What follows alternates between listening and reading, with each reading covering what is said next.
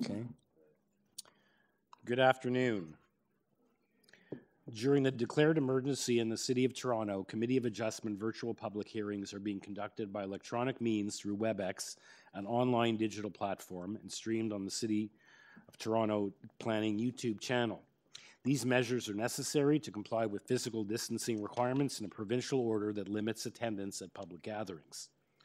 This will be a virtual public hearing, and participants who have registered in advance will be able to make their presentations to the committee using WebEx, an online event that is being moderated by city staff. Anyone wishing to view the hearing may do so by watching on YouTube. Participants who have registered in advance will be connecting either by their computer, a phone or tablet app, or by telephone. All participants will automatically be muted on entry, and when your item is called, each participant will be unmuted by the moderator, one person at a time. Uh, the Committee of Adjustment members, we have one member participating by video, Mr. Danny Bellissimo, as well as in person. We have uh, Mr. Neil Palmer on my far left, Mr. Don Taylor on my near left, and my name is Michael Clark, and I'm your chair. Um, the registered participants will be participating by audio only, and we ask that you mute your devices until you are called on to speak. Land acknowledgement. We acknowledge that the land we are meeting on is the traditional territory of many nations, including the Mississaugas of the Credit, the Anishinaabe, the Chippewa, Haudenosaunee, and Wendat peoples, and is now home to many diverse First Nations, Inuit, and Métis peoples. We also acknowledge that Toronto was covered by Treaty 13 with the Mississaugas of the Credit. In accordance with sections 45 and 53 of the Planning Act 1990 as amended, this meeting of the Committee of Adjustment of the City of Toronto is now called to order. The Committee of Adjustment considers applications for variances from the provisions of the zoning bylaw that apply to the property, permissions to extend or alter lawful non-conforming uses, and consents to sever properties to create new lots. Anyone who wants to receive a copy of the decision of the committee on an application must submit a written request for a decision by email.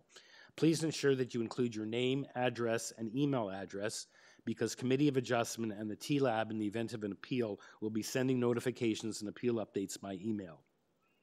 If you do not agree with the decision of the committee, decisions may be appealed to the Toronto Local Appeal Body, TLAB, or in some limited circumstances to the Local Planning Appeal Tribunal, LPAT.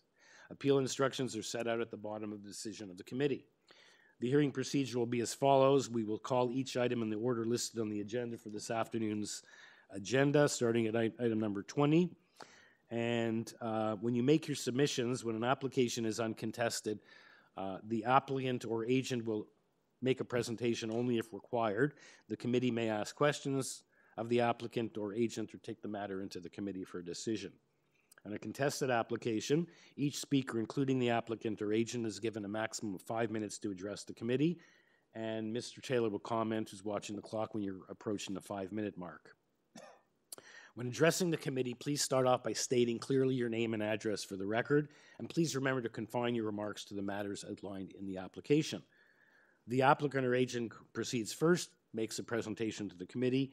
Please note that the committee may not entertain revisions to proposals at the hearing today. The committee may decide to defer the application if substantially revised in order to ensure that the revised application is accurate and that all those entitled to notice of the application are informed of the changes.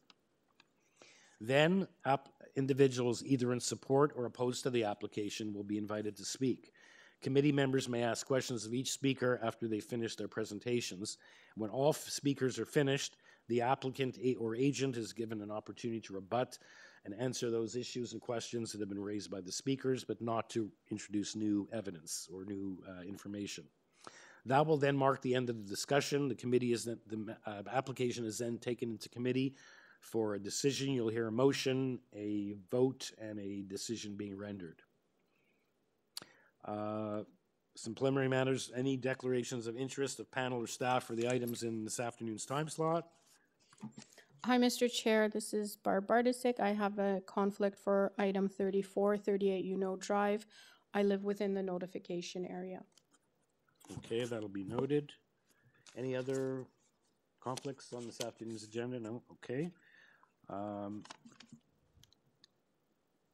okay, so we can uh, we can get started. The first application we're going to hear, as I stated, is One Sealcove Drive, unit, uh, item number 20 on the agenda. And this is an application to construct a two-story east side addition, a rear covered deck, a covered French porch, and a second-story addition above the existing dwelling. There are uh, eight variances. Uh, We have a cover letter, three support letters, and transportation has a condition of approval. Um, They want a notation uh, on the revised, on a revised site plan. And that's all we have. Um, This, we only have one registered speaker for this application, being the agent Graham Barrett. Mr. Good Barrett, afternoon, committee members. Welcome. Good afternoon, Miss, thank you. Um, as you mentioned, yes, I'm the agent for the owners of One Sealcove Drive. This is Graham Barrett of fifteen seventy-five Dundas Street West in Toronto. Okay, uh, let's see if committee members, would like a brief presentation on this application or just uh, ask some questions? Okay, okay, and if there's no questions for Mr. Baird, unless Mr. Baird would like to add anything, are we ready for a motion? Um, I would, I would just like to uh, mention that um, we have worked extensively with planning staff to arrive at this compromise. So it's, uh, it's something that works well for staff and for the owners. Um, I have not seen those transportation comments, and I did take a look at the AIC website. Um, but um, if you could, if you could please explain what that is again, I would appreciate Sure, it. I think they want, uh, here it is. um, Based on the foregoing, we have no objections to the minor variance application from a transportation perspective, subject to the following. One, the site plan shall be revised to include the following notation. Quote, "The driveway widening shall be constructed to the applicable city des- design standards, and the above shall be undertaken to the satisfaction of transportation." So both to have that notation, and then obviously, the transportation services will have to approve that dr- widening. That's all it says. Sure, that sound, that sounds totally reasonable and doable. Um, if somebody could maybe, uh, send me a copy of that, I would appreciate it, and I'll pass it on to the designers. Okay, perhaps staff can get a copy to Mr. Barrett, or is that now on the website? It is posted to the web, yes. It's posted on the web, okay. And Okay, We do great, have thank your you. covering letter, so, uh, okay, anyone have any further questions for Mr. Baird? Is someone ready to make a motion? I'll uh, make a motion. Uh, I'll move for approval. Uh, The application meets the four tests uh, of the Planning Act for minor variance, uh, subject to the uh, condition of the engineering department. Okay, thank you, Mr. Palmer. Seconded for Mr. Palmer's motion. Thank you, Mr. Taylor. All in favor? You have unanimous approval. Thank you, Mr. Wonderful. We'll Thank see you very here much. again. Or hear Have a you again. Okay, Maybe we'll hear, maybe we'll you. see you eventually at some point in the future.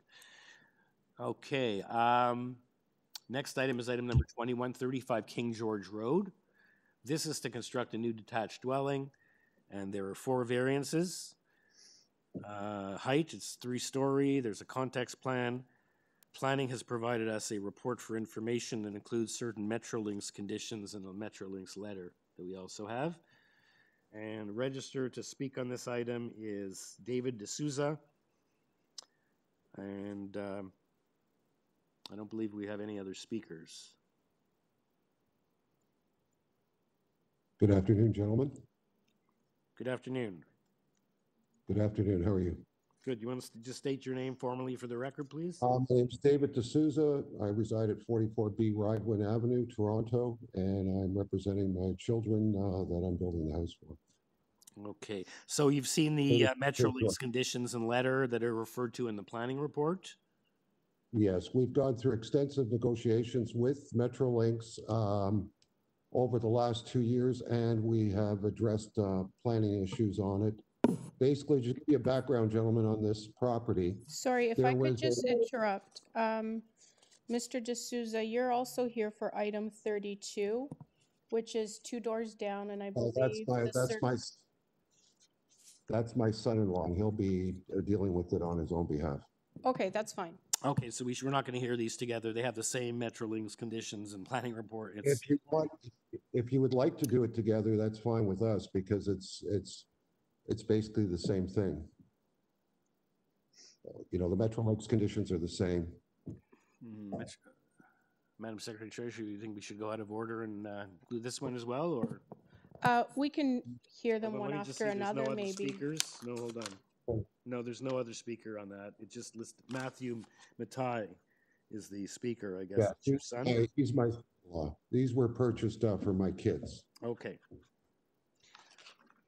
It's up to the committee. I mean, it, the circumstances are identical and the issues are the same, I believe, for the two properties. So you may want to hear them one after another then, okay. just to, Yeah, the same planning report for information, five variances, there's no other, nothing else that's any different. So, okay, let's deal with this one first and then the other one. So first on this Okay. one, if there are any questions, uh, for Mr. D'Souza? And if there's no questions for him, is someone ready to make a motion? Do you want to give me a little bit more background on it? Uh, do you, would you like some more fine. background from, uh, no? I think you've told us enough. We have your context plan and we've reviewed the plans. Okay. Mr. Chair, I find Just to let variance, you know- Just to let you know, uh, there were three previous houses there that Metrolinx uh, basically demolished in order to do uh, rail work at the back. Um, The houses that are being put on those lots are quite extensively smaller footprints than what were there previously, and we have done the setbacks greater than what uh, were there previous. Okay, and it's good to hear you're working with Metrolinx on this and have been, so that you're cognizant of these conditions and what you're gonna have to do. Yeah. Okay, so I think Mr. Taylor was just about to uh, weigh in on this. Mr. Chair, I find the variances meet the four tests under the Planning Act, and I move for approval subject to the uh, conditions set out by Metrolinx. Okay, thank you. Seconder for that?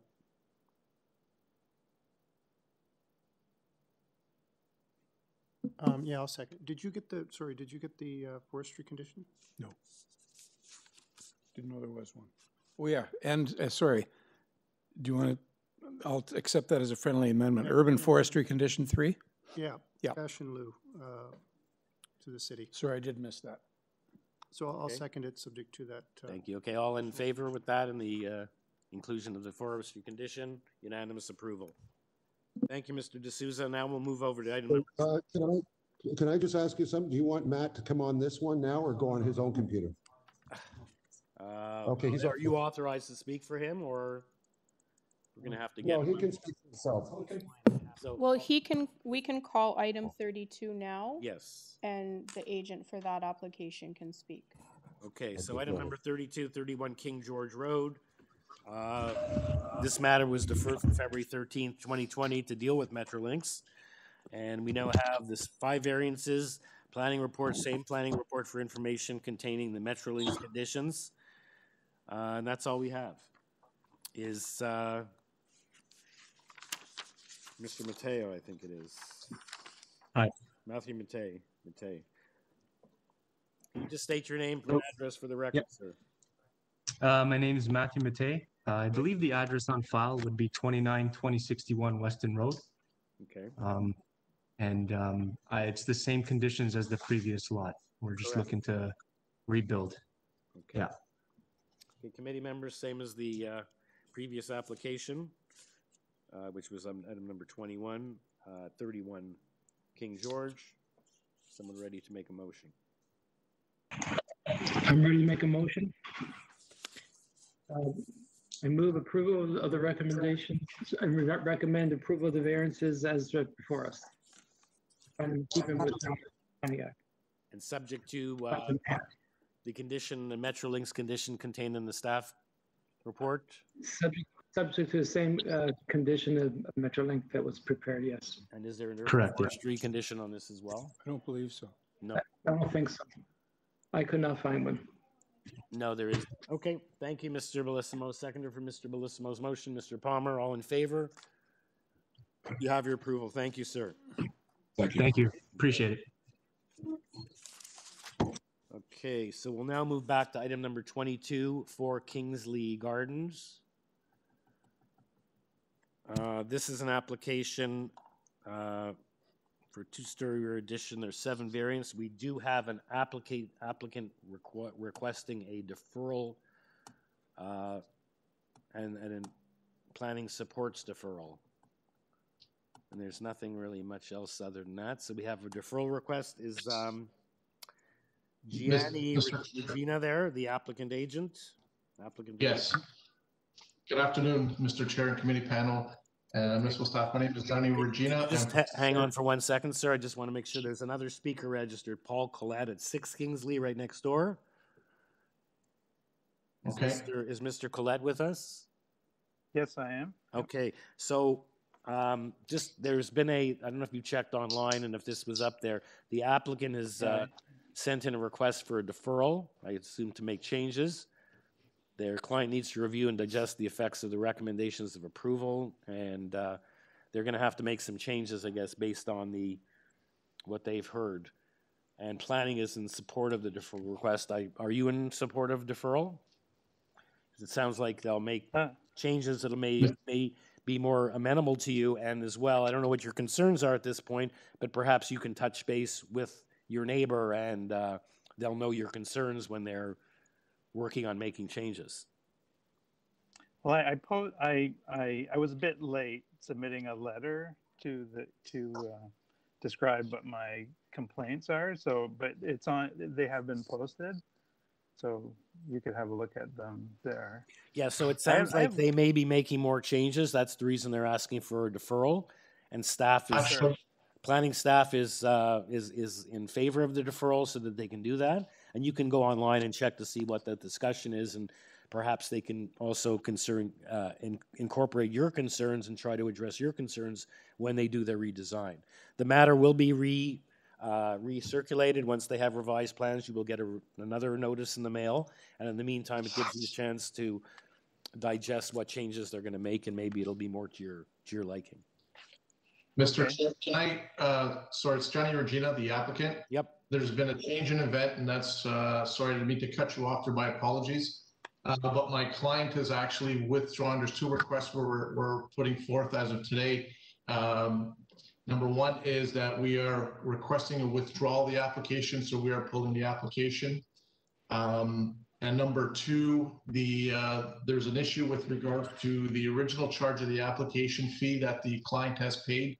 Uh, they originally charged, uh, uh, Okay, anyway, the- okay, we, we're in the middle of a hearing here, so if you tell me you want to withdraw, first you looked like you were looking for a deferral, now you're looking to withdraw. And in terms of dealing with whether you're entitled to any portion of your feedback, which I doubt because work's been done and you're actually on an agenda, uh, but you can certainly deal with staff, but, uh, we don't deal with Well, that. You'll have to make your defer, your, your return of fee request to the, um, to the director. And, uh, so I gotta know, are you looking to defer at this point or you're looking to withdraw? We are looking to withdraw at this point, and we were told that we have to bring up this issue with the financial to the committee panel, is what I was told through an email. And saying that we're not asking for a refund, they've mischarged, um, the original fee for a new house construction was thirty-seven hundred, where they should have been charged, uh, sixteen fifty-two. So we're not asking for a refund on the sixteen fifty-two. So I asked for a written request, which I believe you have submitted. That will be done administratively. That's not before the committee. The only thing before the committee now will be to close the file. Okay, so then it would be a withdrawal, correct? Yes. Okay, yeah, because, uh, back October twenty-first, you wanted to defer, so, okay, so if you're gonna withdraw, I so, apologize. we can- we I can- we apologize. can My do that. client couldn't. Yep. my- and like I couldn't said, you agree can, with we're not me. trying to, uh, slough you off, but you have, we don't deal with fee Yeah. refund issues, so, and fee mischarged, you were charged the wrong amount, you can deal with staff and administratively, we don't deal with that. So motion to, uh, close the file. I'll move to close the file at the applicant's request. I'll move to uh, close the file at the applicant's request. Thank you, Mr. Taylor, seconded by Mr. Palmer. Thank you. All in favor? Okay, the file's been closed. Okay, so Mr. Collette, uh, if you've been following along, the applicant first asked for a deferral. City planning was Yeah. okay with that, but now they're telling us they're just withdrawing their whole application. They're, cl- we're, we're gonna close the file. Yeah, that's fine with me. Okay. Okay, great. Thank you. Okay, thank you. Okay. Next application is item twenty-three. This is a big one. A lot of registered speakers on this one. This is an application uh, for forty-one Thompson Avenue. It's an application to construct a new detached dwelling with an attached garage. Uh, There are five variances, including uh, GFA from 185 meters to 280 285 meters, 0.05, but it didn't give us the percentages. I don't know if that's an oversight. I noticed we have a covering letter from Mr. Flynn. Uh, Planning is recommending refusal of variance two. Uh, Councillor Grimes agrees with planning's recommendation to refuse variance two for FSI. We have 27 and 21 in support. We actually have in 60, and uh, we have a lot of support and a lot of opposition. We have support and we have opposition. So, Mr. Chairman, Yeah. um, And sorry. we have comparables, we have planning report, the council letter. um, We have, it looks like at least twelve letters of support and a huge number of opposition, 20, 37 letters of opposition. And looks like we have registered uh, to speak in addition to Mr. Flynn, the agent. Uh, It looks like you have one, two, three, four, five speakers, including the next door neighbor at thirty-nine, who's listed first, I guess is the one, and thirty-five. um, or 39, I guess, is the most directly affected, as well as other speakers on Brentwood and Royal York Road. So, Mr. Chairman, with regards to uh, we, uh, Michael Flynn, the agent, is here. Uh, Mr. Stefanovic at 39 Thompson Avenue, uh, he we were unable to reach him. So that's the first listed speaker at 39 Thompson. Yep. Um, we spoke with Mr. Rob Schull. He will not be joining us. Uh, but instead, uh, Birute Luxinate at 900 Royal York will be representing uh, him okay, it looks like it's Um, there. It's looks- I al- I was also asked by Michael Green, who is I believe the chairperson of TOCA, if they could speak in a certain order. So their preferred speaking order is number one Paul Schofield, number two Biruta Luxinate, Yep. and number three Mike Green. Okay, so we have three speakers. Mr. Stefano, Stefanovic, or next door, is not going to be uh, speaking. Hmm, It looks like he's a surveyor. he's a surveyor Okay, um, Mr. Flynn. Yes. Yes, Mr. Chairman. Okay, I'd start uh, out by- welcome. You, uh, I guess we need a presentation from you on this one. I think you probably do. You've got a lot of opposition and uh, some support as well. Support as well. Mr. Flynn, sir, there are are- you watching or paying attention with two devices? Because we're getting a lot of. Echo. I'm on my telephone, which is a landline. I don't have any other device with a volume on, but I can turn my computer off if that's bothering you. It's just the committee members, we can all hear what we're saying repeated. Repeated. Oh, okay. Well, let me try shutting it down and see if that helps.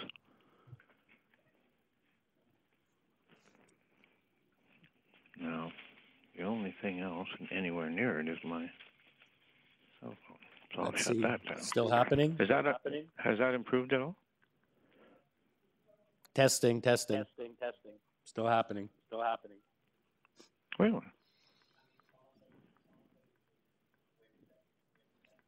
Hmm.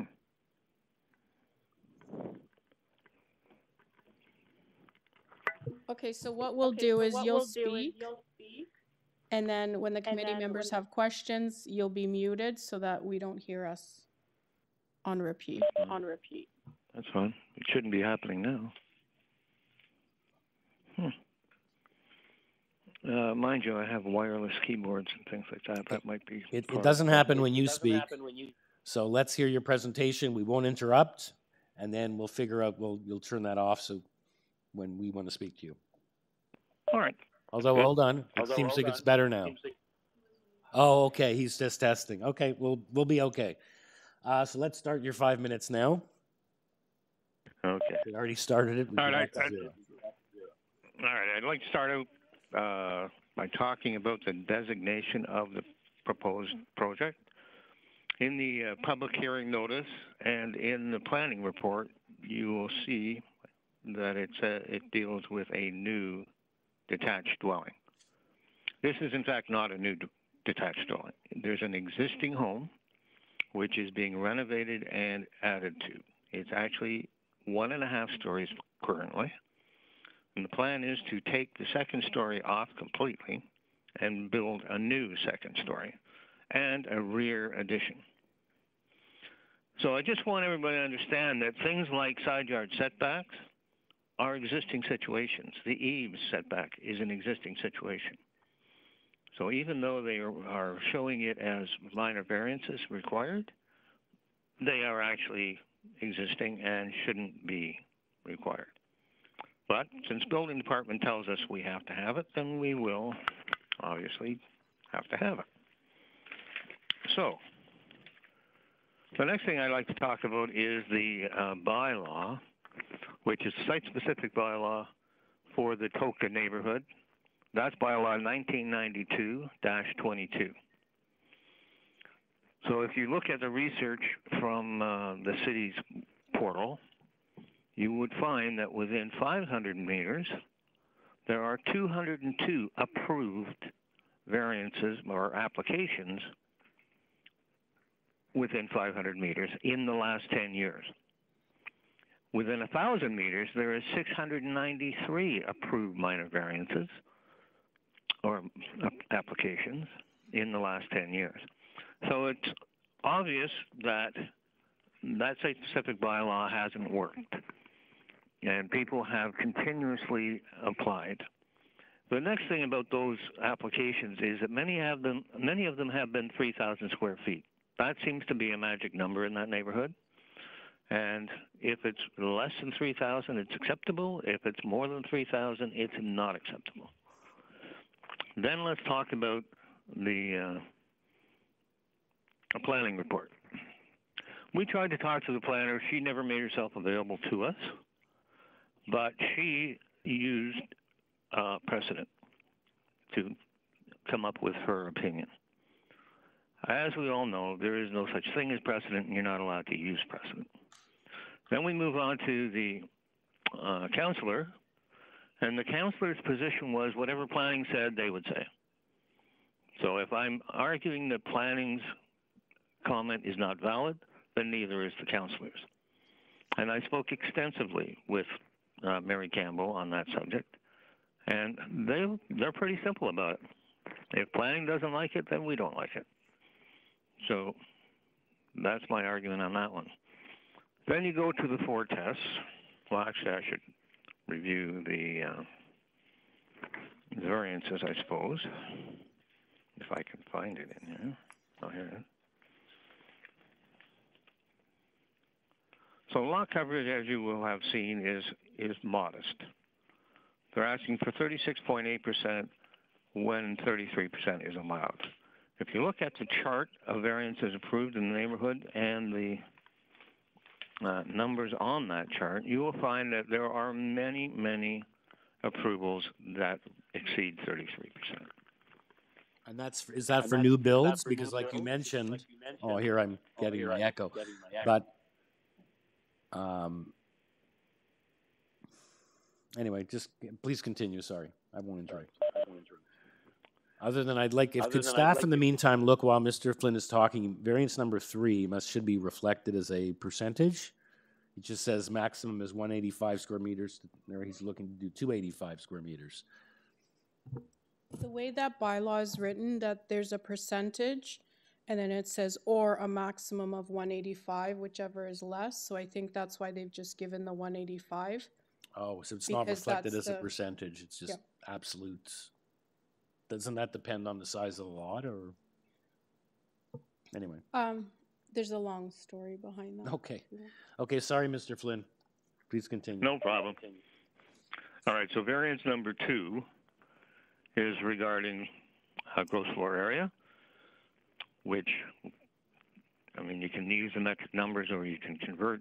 It's approximately 2,800 square feet, which is less than the 3,000 magic number in that neighborhood. And then you go on to, uh, where's the FSI gone?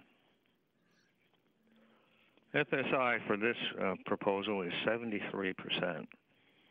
Again, if you look at the chart of approved variances, you'll see that there were many approvals above that. So this number, the magic number, which seems to be the main crux of the objections, is within keeping of other approvals and the neighborhood. And then we go on to side yard setback, which I've explained is an existing condition. Those walls are being maintained, and the construction would be on the second story and in the rear of the house. Dwelling height, although it exceeds the allowed, it's very modest at 0.4 meters, or effectively 14 inches. And the roof eaves are an existing situation. So if the designation of the house had been uh, addition renovation, which I believe it should be, then those two variances, the side yard setback and the eave setback, would not even be included in this notice. So they would be looking for only three minor variances. So getting back to the 2,800 square feet and the FSI. FSI is based on the area of the lot. It has nothing to do with comparable houses in the neighborhood. So some would argue that the FSI at 0.73 is high, but they're not building anything beyond what is on the street. And the OMB has and TLAB have ruled that if a house is generally fitting into the neighborhood, so in other words, in character, then the number doesn't matter. It's a technical number, not a practical number. Okay, So if you're walking down the street, am I out over five minutes? You're, yeah, you're significantly over, but just try to wrap up, because I know we have a couple of speakers. I gave you a little extra and I interrupted you once, so just try to wrap it up. But, so if- all these lots are sort of comparable, is your lot any different? If all the lots are more or less the same size, I'm looking at the key map here. It's not like your lot looks any different than the other lots in the street. I guess There it is does, some it does difference in curve when you get further, when you get further on, the- the street does curve, so. But anyway. So there is differences in size. Yep. But again, what I'm saying is 3,000 square foot on this lot isn't going to be a lot different than 3,000 square, square feet on any other lot. So I'm suggesting to you that the FSI is in keeping and it meets the four tests. Lastly, I'd like to talk about the letters of support and the letters of objection. If you look at the map that we provided, you'll see that the letters of objection are well spread out far away from the proposal, whereas the letters of support are relatively close or you know, compact to the requested variance site. so I would say that for tests, it's in keeping with the official plan, in keeping with the zoning bylaw because it uh, maintains most of the performance regulations, generally appropriate for the development of the land, and minor because there is no impact Okay. Compared to other properties. Thank you, sir. Thank you, Mr. Thank uh, you, Flynn. Mr. Quest, uh, just a Flynn. quick, Quest, just a I'm just wondering, I'm maybe you can turn them off so you that can we don't get the uh, feedback. It looks like we got two planning reports, may, more, which more or less say the same thing, October the 23rd and then October the 26th. Is there some difference? Am I missing something? We got two planning, uh, staff reports. They look, you know, are they, is there anything different between those? And the question is, the um, question is, um, for Mr. Flynn. Um, you started off by saying this is, shouldn't have been considered a new build, but additions because you kept up more than fifty percent of the wall. So why did planning do that, and why did you? If it affects the variances, like you say, certain things are as built, it's already there, as opposed to looking at it as if it's new build, they go back to first principles. So I'm just wondering why that was done and why you accepted it. The other thing is, given that they reject, they don't say that the variance of uh, 0.73 for GFA should be reduced. They just say refuse it, which means you're at 0.45, which is meaning you reject the whole application. Usually they do that only when they've gone to the applicant to try to reduce it and they've said, sorry, I want to go in at that, and then they just go back to 0.45. But I'm surprised that they're not, that, and they didn't give any verbiage as they did in some other applications today, where it says we actually approached the applicant and suggested they make changes, and they said, uh-uh, we want to go with this.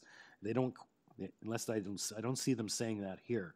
So I'm just wondering why they're just saying flat out, no, 0.45, take it, you know, and not going from 0.73 to point, saying, okay, something else is reasonable, 0.6, or they just said, no, refuse it. So that's Exactly, and I, I was surprised to see that myself. Okay. Typically, planning department would ask you to reduce to 0.68. That seems to be a magic number with planning. In this case, we spoke to Mary Campbell in the councillor's office. She said, go to planning and talk to planning. So we attempted that and got nowhere. And the planner, if I'm correct, said, I've already written my letter. I'm not talking to you. Okay. Anyway, okay, So so, that's what happened there. Okay. And on the other issue, the new versus addition renovation, that's, the building department designates that. And, I mean, this could be a little complicated, but before amalgamation, North York used a definition that each floor had to be 50% maintained. The examiners that are now in Etobicoke are used to those kinds of interpretations. So they interpret it in the North York fashion, not the, not the Etobicoke fashion, and that's why they are calling it a new build. I don't think in this case that the committee uh, should penalize these people because you have an examiner who has a, an interpretation that isn't native to Etobicoke. And- And that's typical throughout the city. Every, there has never been a harmonization of interpretation okay. between. Anyway, Mr. Flynn, let's. I have the answer to my question. I didn't, you know, I asked you the question, but I think I, you accepted, I guess, what they did, and that's what's before us. So let's see if there are any other questions before we move on to the, uh, the neighbors. Uh, Yes, question, Mr. Flynn. I think you indicated that the side yard setbacks only apply to the existing dwelling. So I'm going to look at the front of the dwelling. It appears that there's a couple of additions at the front of the dwelling. What are the setbacks on those two additions at the front of the dwelling? That's the garage being pushed forward, and it meets the front yard setback. Uh, No, but what are the side yard setbacks? Because you indicated that the side yard was on the existing dwelling only and shouldn't uh, have been in this application. So I want to know what the side yard setbacks are on the additions at the front of the dwelling. Oh, let me look, that- I'll have to look that up for you.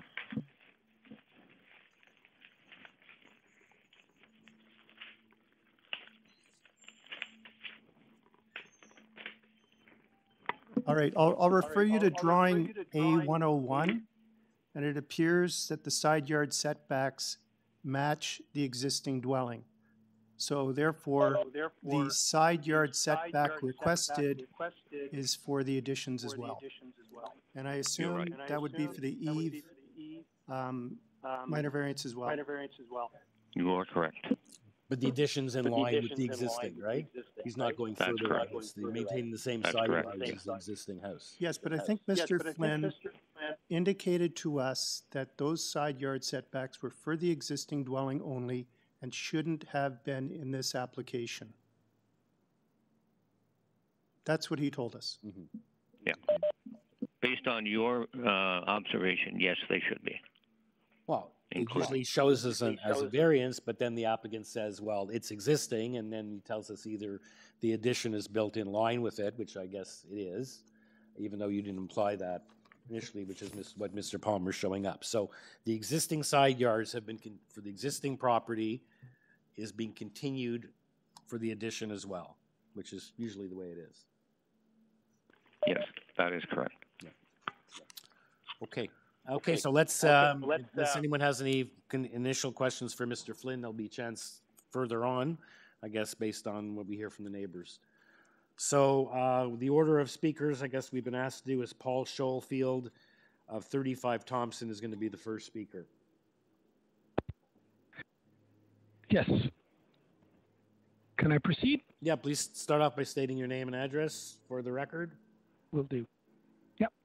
Okay, my name is Paul Schofield, and I have lived at 35 Thompson Avenue, a few houses north of the proposed development for 25 years. And so, you know, we've coordinated three people to speak today so we don't uh, take up the committee's time with uh, duplicate uh, discussions. I want to say that this property is situated amongst 330 houses in Thompson Orchard, an area of small one, one and a half, and two story Tudor style homes built in the 30s and 40s, where most lots are small and substandard in size. The applicant at 41 Thompson is requesting an FSI of 0.73, which calculates out to 3,100 square feet, not Mr. Flynn's 2,800, uh, on a typical small Thompson Orchard lot. And we don't agree with Mr. Flynn's assessment that an FSI of 0.73 is well within the range of variances and that uh, 3,000 square feet is a magic number that's used in this area. Um, an FSI of 0.73 is large when compared to variances granted on the approximate two blocks of Thompson Avenue and the greater Thompson Orchard area. I note two houses immediately north of this property were both built within the last number of years. Both are under 7.07 uh, and both under 3,000 square feet. He acknowledges that there's been many variances in the area, and we agree, and we have looked at notices of decisions for 85 houses in the Thompson Orchard area granted over the past 15 years. With information on only 31 houses, Mr. Flynn's data is incomplete and inaccurate. For 64 Brentwood, he lists the FSI as 0.718, which was refused by Committee of Adjustment and subsequently approved at 0.68. This data point should be corrected. Also, the top line of the chart in his that he's posted includes the property next door to 41 Thompson, which is 39 Thompson at an FSI of 0.77, which has not yet been reviewed by the committee. This data point should be removed. Based on the data we have from the past 15 years, 10 of the 43 houses in the first blocks of Thompson Avenue Avenue that have been granted an average FSI of 0.59. In fact, 100% of the houses, one block in either direction of 41 Thompson, have an FSI no greater than 0.68. Therefore, the requested FSI of 0.73 is clearly an outlier in the immediate neighborhood. Over the same 15 years, 61 of the houses in the greater Thompson Orchard area were granted a variance for FSI. The average was 0.6 and the range 0.45 to 0.74. At the highest end of the range, four of these houses have identical FSIs of 0.74 as part of the same development on Cosmo Road. These four houses are not appropriate comparators as Cosmo Road is separate and apart from the Thompson Orchard area it has no road connection with the rest of the neighborhood and can only be accessed from Bloor Street. It was developed 30 years after the rest of Thompson Orchard, and the housing stock is very different. But most importantly, when these four houses came to committee in 2013, Two of our presenters, Mike Green and unfortunately Rob Shule can't join us, witnessed the committee accept the arguments put forth by the agent, Mr. Flynn, that Cosmo was so divorced from the rest of Thompson Orchard that it could never be used as a comparator for the Thompson Orchard neighborhood, regardless of the variances requested. So it would be inappropriate to now use the FSI of these houses on Cosmo to justify a variance request for a house on Thompson, as he displays in his chart. Further, the city planner confirmed by email that she reviewed the houses on Cosmo Road and concluded that these examples were not comparable to the redevelopment of 41 Thompson Avenue from community planning's perspective. Since these four Cosmo Road houses are not appropriate as comparators, that leaves only two houses in the Thompson Orchard area with an FSI above 0.7. One house was 0.73 at 59 Cliveden, and one with an FSI of 0.71 at 29 Van Dusen. These two houses, therefore, clearly do not represent the most frequently occurring nor prevailing character of the neighborhood. The applicant's request for 0.73 is an outlier. So whether you compare it to the immediate neighborhood or compare it to the greater Thompson Orchard area, you come up with the same conclusion. The request for an FSI of 0.73 is an outlier, does not represent prevailing FSI of the neighborhood, and it cannot be considered minor. It is too much house on too small a lot. It doesn't respect or reinforce the existing physical character of the neighborhood. And because it has the potential to impact future development in the area, it doesn't maintain the general intent and purpose of the official plan. This position is sort of supported by city planning staff who I've spoken to, and the October 26 letter is the correct letter, describing it as a new build as identified by the zoning examiner. And they did their own analysis comparing the proposed FSI to the neighboring residential properties and surrounding neighborhood and found the proposed FSI is not consistent with the prevailing physical character of the neighborhood and exceeds the scale of development contemplated in the zoning bylaw. As a result of this analysis, community planning is recommending the variance for FSI be refused, as you have heard. We agree with the conclusion reached by the city planner, which is supported by the councillor Grimes, Grimes, and requests that committee refuse the application. Okay. Thank you. Thank you time. very much, uh, Mr. Schofield. Very good presentation. Uh, Next speaker is Berute Luxanate. I'm sorry for if there's, my pronunciation is, is off. No, it's great. Perfect. Thank you. Can you hear me? So you're a lawyer on, acting on behalf of Robert Shull, I understand, and I've read Mr. Uh, Shull's letter.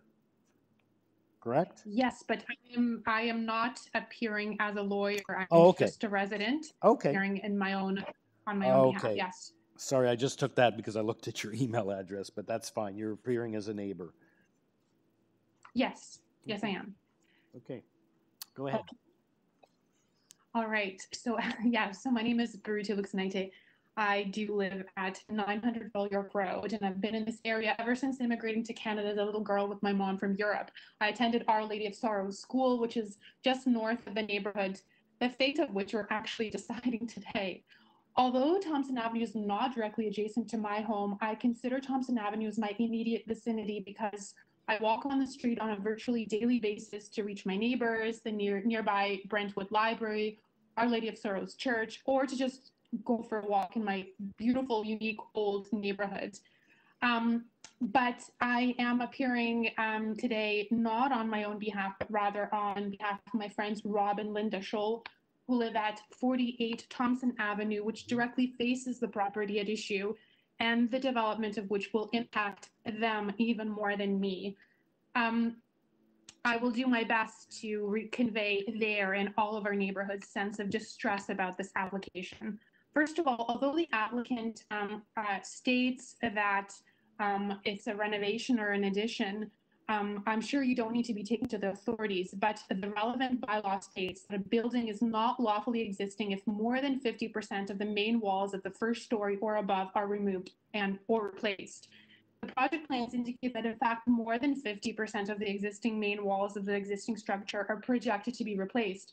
And this was also the opinion of the zoning examiner. So for a new home, the old metrics, which the current home, which was built in 1942 enjoys, would no longer be available and the current date requirements must be respected. So I know that you referred to uh, existing walls um, enjoying the setbacks of 0.43 meters and 0.73 meters. Um, um, Sorry, Sorry, uh, sorry, Baruti, I would, I would use my time. Yes. We've already established it's been, planning is given to us as a new build. Mr. Flynn uh, disagrees with that, but it's looking as a new build. I would move on from that point. Okay, so it's- but in it's- any case, there is It's a new build, according to, as far as we've So been. it's a new build, so- so the existing setbacks um, are not, should not be available to this new house. Yeah. Um, and, and they're, they're adding a new section that, I mean, as a new section, it must obey their new requirements of the setback of, of being two point one meters. But instead, they're offering to, to, or asking for, for, to be allowed to be built at two zero point, zero point four meters, which, I mean, there's no reason why a brand new addition cannot now honor the, the required setbacks. And it just indicates that these requirements are quite aggressive and um, overall not within the spirit of the neighborhood. They're also requesting a height variance, which is a significant concern because this is a traditionally single story or, bungalow neighborhood and a towering structure in a low rise neighborhood would make a huge, like a shocking impact. Um, there's also uh, required variance for um, lot coverage um, from the 33% to 36.8. So again, that's that, that's not a minor variance request. So each of the variances that are requested are non-minor, and together they would comprise a huge variance that would not have a precedent. And if permitted, it would have a very significant and negative impact on the neighborhood. I know that the proposed house may look nice, um, and, and, and, and change and new things are, are, are good in some cases, but what is proposed does not belong on Thompson Avenue. It's the massive metrics requested are not reasonable and completely unsuitable for this old traditional neighborhood. And if permitted, it would result in overdevelopment um, and would not respect or reinforce the existing physical character uh, of it. Um, it also would have potential for future developments, um, set a precedent for, for things that are for, for flippers who have no interest in staying and enjoying and protecting this neighborhood for the future. So um, the overall impact on the neighborhood would be negative and opposite to the to, the purpose of the official plan. And I think that the the four tests here are not met. The application is not minor in nature. It's not appropriate or desirable for the area. And it's not in keeping with the purpose and intent of the official plan and the zoning bylaw. And just in brief conclusion, I would like to take you to the letters of objection. Um, 29 current residents, as opposed to the letters of support, which came from some only former residents who don't live anywhere close to this neighborhood. In this case, our letters of objection are from the immediate neighborhood.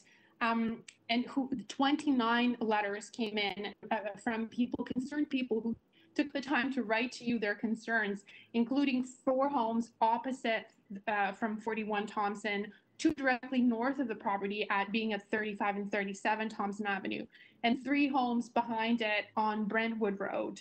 These 29 individually written letters provide detailed arguments about how the proposed application would directly and negatively affect the neighborhood's interests.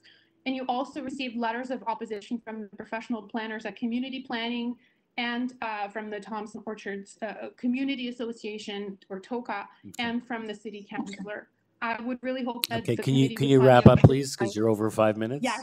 Thanks. Yes, I, and Mr. Flynn was at seven minutes, but I would, I would hope that you would find, find the opposition letters more meaningful and credible than those of, uh, in support and refuse this application. Thank you very much. Thank you, thank you for that. And uh, you're right, I let you go over a little. I let the previous speaker, Mr. Schofield, go over a little bit because this is important stuff.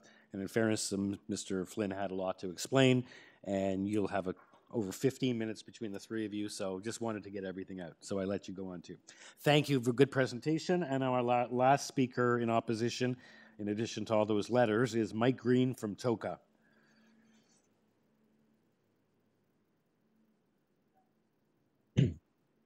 Uh, good afternoon. My name is Michael Green from 26 Brentwood Road South. Um, I'd like to start by pointing out that Mr. Flynn's map had numerous errors as he neglected to include six letters of objection from 46, 66, and 70 Thompson, 42 Brentwood, and 48 and 49 Cliveden. Two letters of support were never submitted, although they showed on his map, and these are 54 Thompson and 43 Cliveden. A review of the 24 support letters shows 15 of the 24 are basically form letters, which are a pretty low level of support as, as it's not difficult to collect signatures at the door of friendly neighbors, and I don't imagine much, if any time, would have been spent analyzing the variances. Of the remaining nine letters, five were written by people who don't even reside in the Thompson Orchard area, including London and Ajax. Two letters came from the property owners who do not reside on Thompson. One just finished developing and the property, and it's already for sale. The second, right next door to number 41, has an application in with the committee asking for a floor space index of 0.77. And I don't think it's much of a stretch for me to suggest that he might have a vested interest in seeing you approve 0.73 today. Most of the comments in the support letters appear to be little more than personal references and not an analysis of the variances and whether the house will reinforce the prevailing physical character of the neighborhood. We conclude these letters are in support of the applicant, which is fair, but not the application. I would hope the committee would find the opposition letters more meaningful and credible than those in support. It was interesting that Mr. Flynn, in his letter to the committee, brought up the divisional court ruling of uh. It's worthwhile maybe remembering some of the key statements in that judgment, as almost word for word they could easily apply to this application. Some of the comments were, an applicant needs to establish a hardship or a need for the variances other than homeowner's preference for that particular size or style of building. They should be able to outline technical or physical reasons why not being able to comply with the zoning bylaws. And a minor variance is a privilege, and the applicants for variances must demonstrate why they cannot adhere to the zoning bylaw. And the applicant needs to demonstrate something more than a personal preference, which I think is the situation here. I think it's unfortunate and a missed opportunity that the applicant seems to have taken an inflexible approach with this application. Other developments in the neighborhood have benefited from community discussions, um, discussions with community planning and the council's office, and sometimes including Mr. Flynn. As an example, 68 Thompson, which started with an SFI of 0.7, was reduced to 0.68 in discussions with the council's office, and further reduced to 0.66 in meetings with the community. A development at 31 Thompson with an FSI of 0.61 is a good example of a reasonable application which, like most others in this area, met no opposition. The applicant saw firsthand how the negotiation process works when they attended the meeting at, uh, with number 68 and the community. The applicant held a one minute, uh, sorry, a phone call via Zoom with minutes uh, with neighbors within a one minute walk of their house. Neighbors did express concern, but it was quite obvious that the applicant was not interested in making any changes. This is exactly the same situation that the city planner faced, and she had a similar lack of success in trying to get the applicant to reconsider their plans, which was unfortunate because they often broker compromise uh, solutions. And the applicant did have from October the 9th to the 21st to try and take advantage of that, but failed to do so. With regards to just three of the comments that Mr. Flynn made, I think it's a total red herring, this measurement of 500 meters and 1,000 meters and 600 decisions. I, I just, I don't know where he gets that geography from. Um, the TOCA area only has 330 homes, so his 600 and something plus decisions means every home has had two decisions. This is, has to be ridiculous. If Mr. Flynn disagreed with the notice, I believe he should have tried to correct it. He knows all the senior staff in the city. He shouldn't be trying to debate this at committee. And I think to put you in the middle of this discussion is, is unreasonable.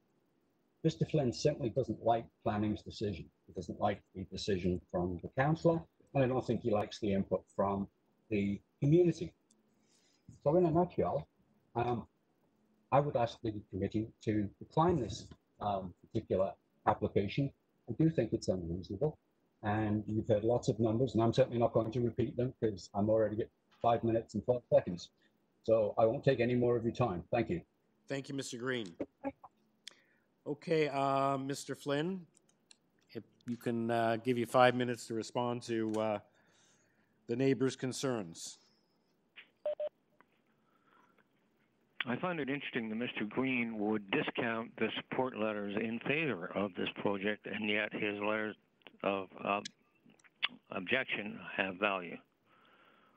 The other Anyway, issue we- the, is the committee, the committee can go through the letters and make their own, uh, you know, whether it's a form letter, or, you know, there were a lot of, uh, the opposition letters, you often you see, you know, people write the same letter because they don't want to be, hear people actually, both in support and objection, uh, you know, went to the trouble of doing this, and I think to spend any more time on that, the committee, you know, has a map, and they know, they've seen a lot of opposition letters, and they can gauge who's most affected and who's least less affected, and, you know, the, the wider neighborhood versus the more specific street. So it's all sort of relevant, but let's, let's move on on that. We have the letters, the committee will make their own, uh, assessment on those letters. Obviously, it's an important application to a lot of people. Uh, yes, it always is. Thompson Orchard is a very uh, tight neighborhood, and they are to be commended that way.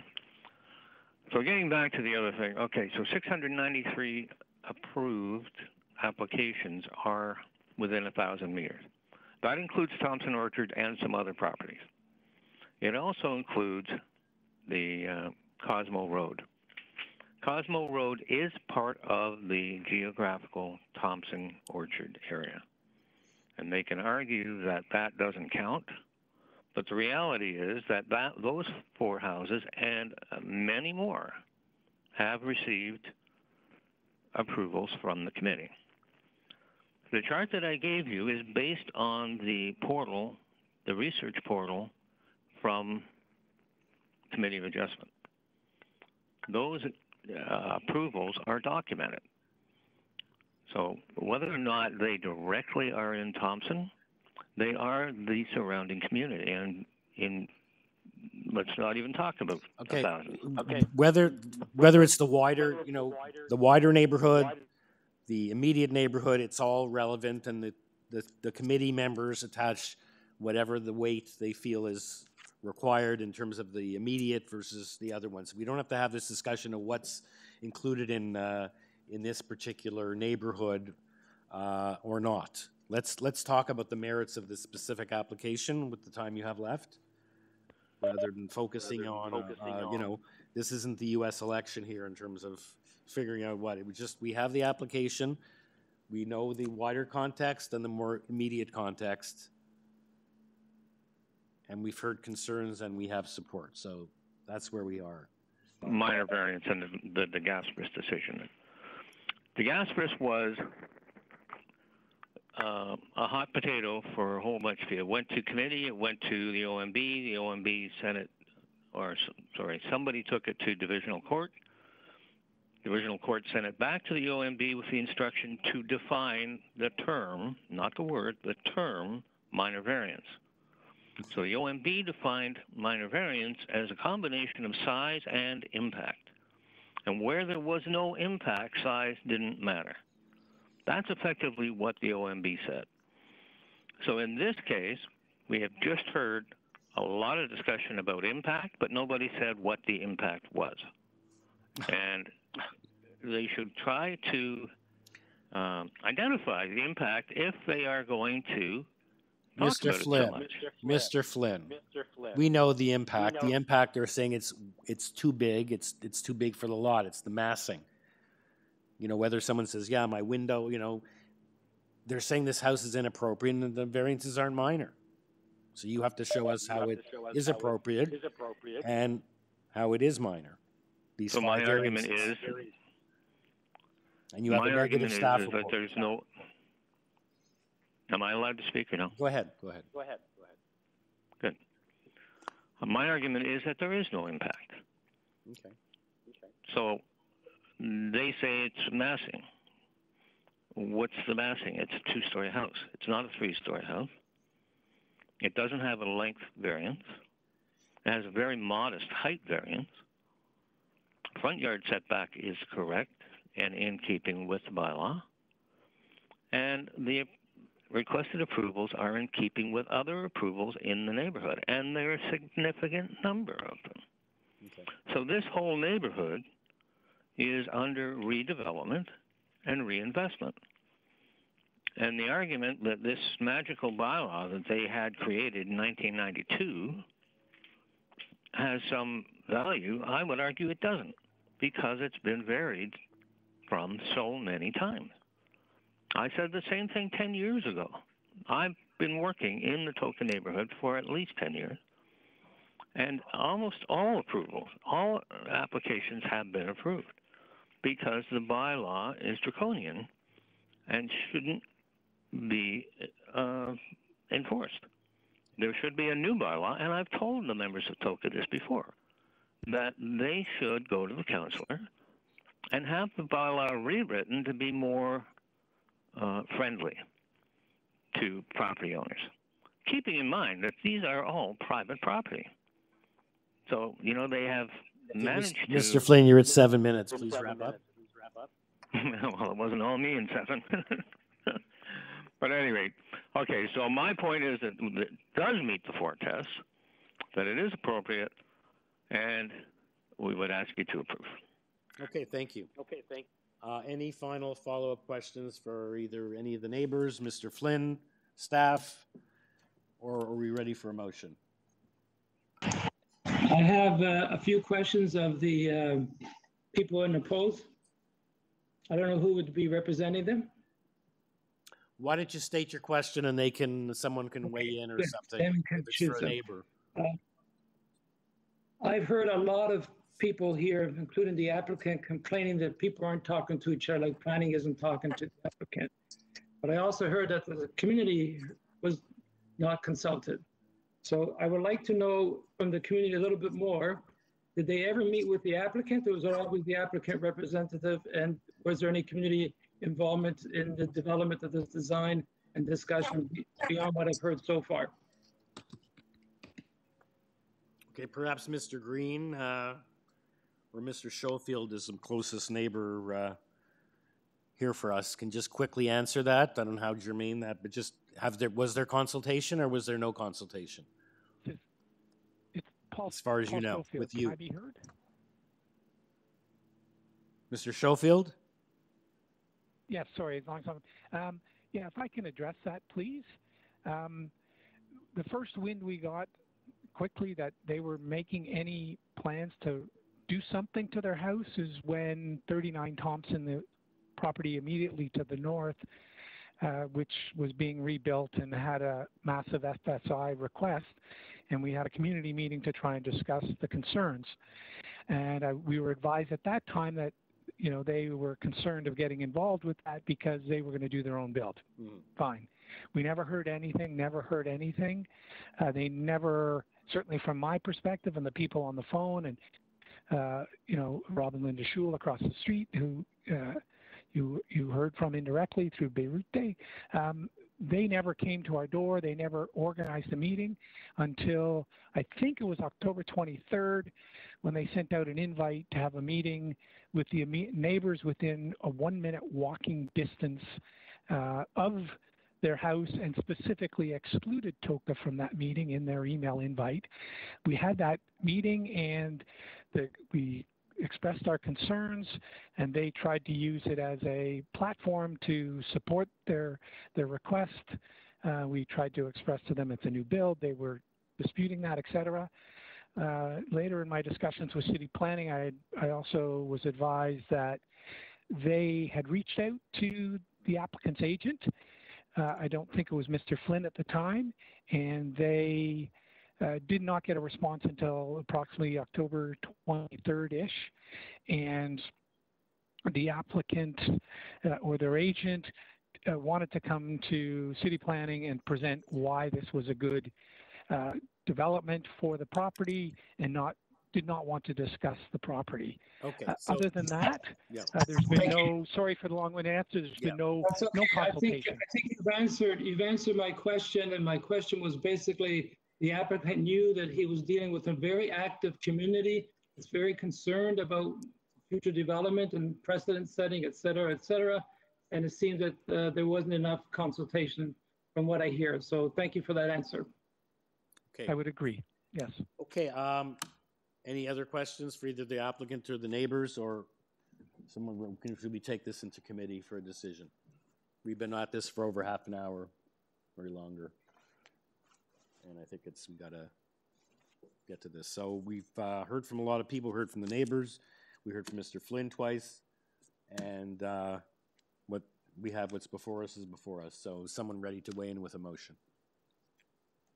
If no one else is ready, I would like to weigh in with a motion.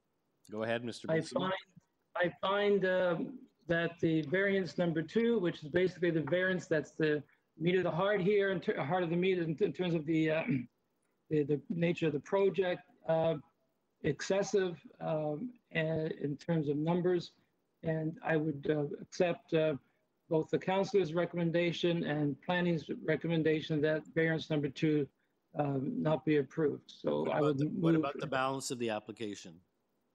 The side well, I, I think I could, I, I don't think those uh, are gonna help anything. I, I think that the community is really worried about number two, uh, so is everyone else, and the applicant can stay with those other ones and work with them if they can. uh, or come back, but I would move uh, refusal of uh, rec- uh, variance number two. Okay, so I, I take it with a re- refusal, he's at 0.45 rather than the reduction, so he's, it's basically the same thing as rejecting the whole application because uh, he, unless, Madam Secretary Chair, could the applicant come back and say, I have all the other variances, and then just come with an application to bring it to, so, say, everything else but 0.68? Because I've heard other, con- other concerns here, other than the, even though community planning is just focusing on that, but could the applicant come back and say, okay, I have the other four variances, Well, now we I'm just coming back for a variance, keeping those four variances and reducing the FSI to 0.68 or 0.62 or anything else but more than 0.45. That's my concern is that the neighbors have other concerns and perhaps it's more appropriate to reject the entire application and not just pick out variance number two for that reason. So, Mr. Bellissimo, is your motion to refuse the entire proposal or just variance number two and approve variances one, three, four, and five? No, I think my motion is to refuse number two because I think that's the issue here. The issue is Okay, so massing are you three- approving one, f- three, four, and five? That's I'm what you going with said. planning's recommendation and I'm going with the council's uh, suggestion that number two be refused. I know, but your motion has to Yeah, include what his you're motion, Madam, approving Madam too. Secretary Treasurer, his motion is just to deny variance number two. So I just brought up a point that I need to know from staff, if that is the motion that goes through, does the applicant have his other four variances approved, subject to appeal, obviously? And then he could just come back with those four variances and with the lower FSI and come back for a fresh application that he got those other four. Because in that case, even though community planning and the councillor piggybacking just recommended refusal of variance number two, from what I'm hearing from the community and the overwhelming objection, I don't believe that that is uh, the appropriate thing to do here. But in that, in this instance, because we've heard concerns with the setbacks in particular, and the other gross floor area as opposed to the, the gross floor area is also excessive, we've heard. So that's my suggestion. Mr. Bellissimo is entitled to his own motion, and we'll see if other members want to support that. Could someone stop? There's some, someone's moving around something or breathing. It's very disconcerting. I think it's Danny. Um, So what I'm suggesting is, before anyone seconds that motion, I just wanted to bring up as chair, the issue is that that may not be uh, something that we want to do, because if we, if we're concerned with the entire application, to just pick out variance number two, I asked, actually, the GFA is included in that, or it's? Yes. Okay, so the two of them are together. But we've also heard about the side yards, and we have the height. So I'm just saying, from what I've heard from the community, we should consider that, and Mr. Bellissimo can, can do what, can make his motion, and uh, but that, that's just my caveat, that It's there could be an issue of doing that. it's always cleaner to deal with the application on the whole because then it's subject to redesign and you never know what could result from those redesigned plans. But in the motion from Mr. Bellissimo, okay. I do need to hear, he said twice that he's refusing variance number two. And approve. If he's approving the other ones, Yeah. I need to hear that. That's what he said. So let's vote on that, and Mr. Bellissimo, that's what you're saying. You're just rejecting variance number two, and you're seeking to approve the I- rest I- application. I would, I will repeat it again. I, I'm going with the recommendation from planning, which is only to refuse number two. Thank you. Um, But I- what are you I think the message approving? is strong. I want to know Well, I- what you're I approving. Well, obviously, the other ones get approved. I know, but see, that we case, I needed to think hear planning- you I say think- that. Okay, he said it. Yes, Let's, but planning, Is planning is saying the that same motion? thing, so I'm going by what planning is saying, only refuse number two. we don't just have to do what planning says. Okay, is there a That's his seconder to that motion? Is there a seconder for Mr. Bellissimo's motion?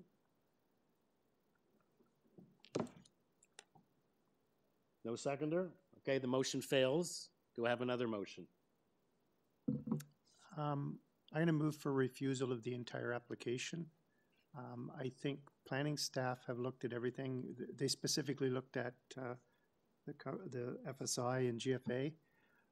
But I'm afraid what could come in if we um, approve variances that aren't tied to a certain site plan uh, that staff haven't looked at. Uh, We don't know what, and, and, and the public have not looked at. So I think we have to look at the application in its entirety. And I don't think the variances requested are minor in uh, this application. Uh, They're not minor, they're not desirable. So I'm going to move for refusal of all of the variances requested. Thank you, Mr. Palmer. We have a seconder for that motion. I'll second it. You can't call you because you can't have a tie because I'm, I don't know why we don't have five members and only four, but anyway. Mhm. Maybe someone, um. Well, it seems like maybe if Mr. Bellissimo sticks with his wanting to re- just reject variance two, and perhaps Mr. Taylor is thinking in terms of approval, then we wouldn't have a, we not- might not have a tie. So let's just see how it, how it bears out. Someone may change. We have a, we have an, um, Okay, I'm just, I recognize that there's a motion that's been seconded on the table. The chair is not supposed to vote to cause the Okay. tie. If we have a vote now and there, it results in a tie, this will have to be deferred so that there's a five-member panel. okay. hold on a second. Okay? So all in favor of that motion? So we have a tie. So Mr. Bellissimo is not in favor of that motion. He just wants to reject the one. He'd, he'd like to give them their side yards and all of those other, the heights, Can I speak? without, without having it tied to a site plan. No, You're prepared to just Yeah. reject that. I assume Mr. Taylor maybe is in favor. So that's that issue. So, All opposed to that motion? you're opposed, you're opposed? to the motion? You're opposed. Right, so opposed to Yeah. this motion. Mr. Danny, Taylor's are you opposed to the opposed to this motion? Yes. Okay, so this application has been deferred until we can get a full five-member panel, and I don't know when that will be. Wow. So I'm just looking at the staff report. I'm not trying to convince anyone, but they certainly had uh, building scale not compatible. I'm just concerned because we've heard from the neighbors, and I'm, I, if it is a new build, they shouldn't get those yards. They should may not may get the height, but they may not get the height. And I believe I agree with Mr. Palmer that we're not. We should if we don't have those variances tied to a drawing, it's we're, we're in dangerous territory in, in agreeing to those side yards on a new build. And I believe the neighbors were against that. And I, if the, uh, if to me, if the GFA is inappropriate, then so is the side yard setbacks. But I assume Mr. Bellissimo wanted to give that to them. Mr. Taylor is very clear he wanted to, he was in favor of approval of the application. Mr. Bellissimo was more or less against variance two, in which case the entire application would fail anyway. But now he's not willing to join that. So the motion fails and we'll have to defer until we have a full panel. Quite Que- disappointing for all these. Question, um, if it's deferred, then the applicant has an opportunity to bring back a revision for consideration. Yeah, well, that would be a good thing because then perhaps Mr. Flynn, hearing what he hears, can maybe be try to work out something that's more acceptable to the neighborhood rather than getting um, perhaps on a five panel. Maybe he's going to get approved. Mr. Taylor was in favor.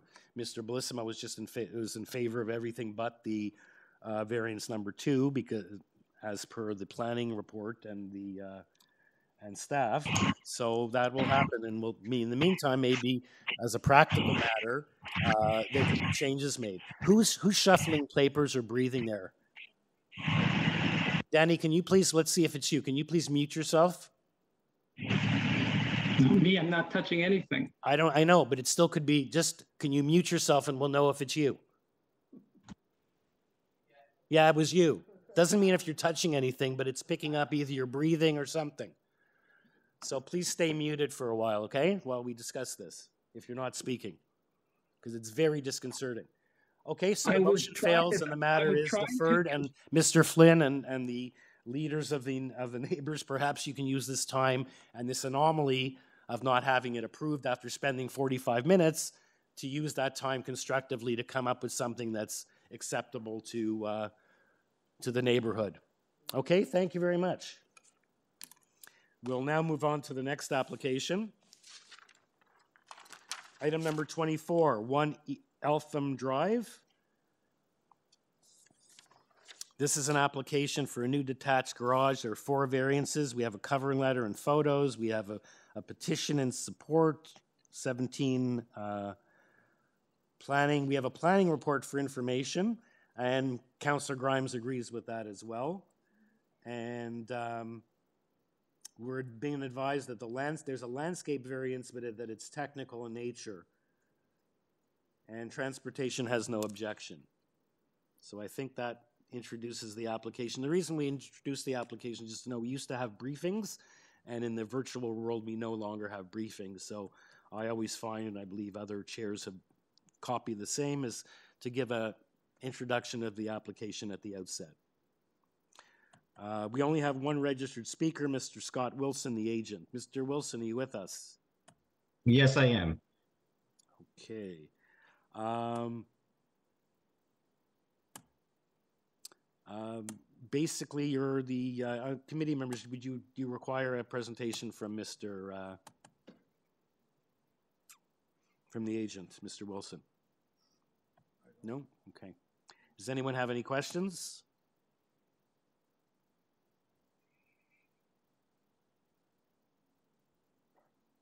Okay, we've heard about the landscape variance. Uh, okay, would you, is there anything you'd like to add before we take it into committee? I don't think we need a presentation. And uh, no one has any questions? Okay, so Mr. Wilson, if there's nothing, anything you'd like to add, otherwise we'll take it into committee for a decision. No, there's nothing we'd like to add. Okay, thank you. We have the the planning report for information.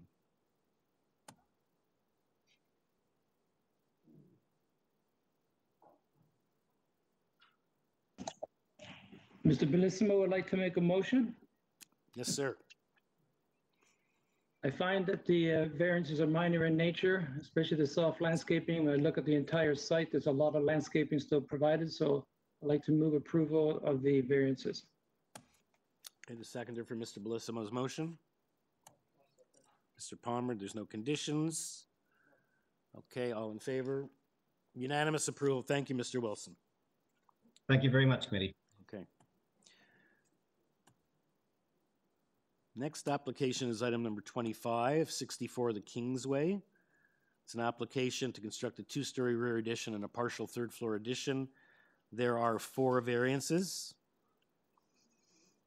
And we have a submission from the applicant. Number 62 is opposed. Um, We have a letter that they're uh, too close and uh, issues of sunlight. And other than the applicant submission and that uh, opposition letter, that's all we have. And uh, registered to speak is Franco Romano, the agent, and uh, Nadia Sakno from 62 The Kingsway, right next door. Mr. Romano. Good afternoon, Mr. Chairman. Good afternoon, Mr. Chairman. Uh, I'm going to refer to the presentation material that I submitted. Yep. Um, I think this illustrates the building additions that are proposed in the context. So this is, this is a proposal that involves um, a rear two-story addition and a partial third floor addition. So more than 50% of the walls are being maintained. And the proposal, as you will see at the front elevation, that, that front gable and Tudor style uh, that it currently exists is just being uh, maintained and improved upon to the rear and to the uh, east. And what you all, as well as to the west. So what I have in green text, it's showing basically where the existing is to remain.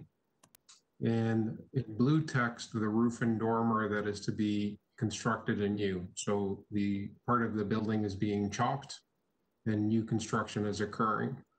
When we go to the east elevation, which is at the bottom of this page, thank you kindly, you're navigating this quite nicely for me, I appreciate it. What you're going to see along the side elevation and the east and the west are very similar is on the right hand side there is in green text the existing to remain and you'll see that it, that is in a gable form with a chimney that runs through the center of it. Mm-hmm. And then on the left hand side in blue there is a, a corresponding gable that is proposed. So those are the portions that are at the uh, 0.45 meter east side yard setback. Mhm.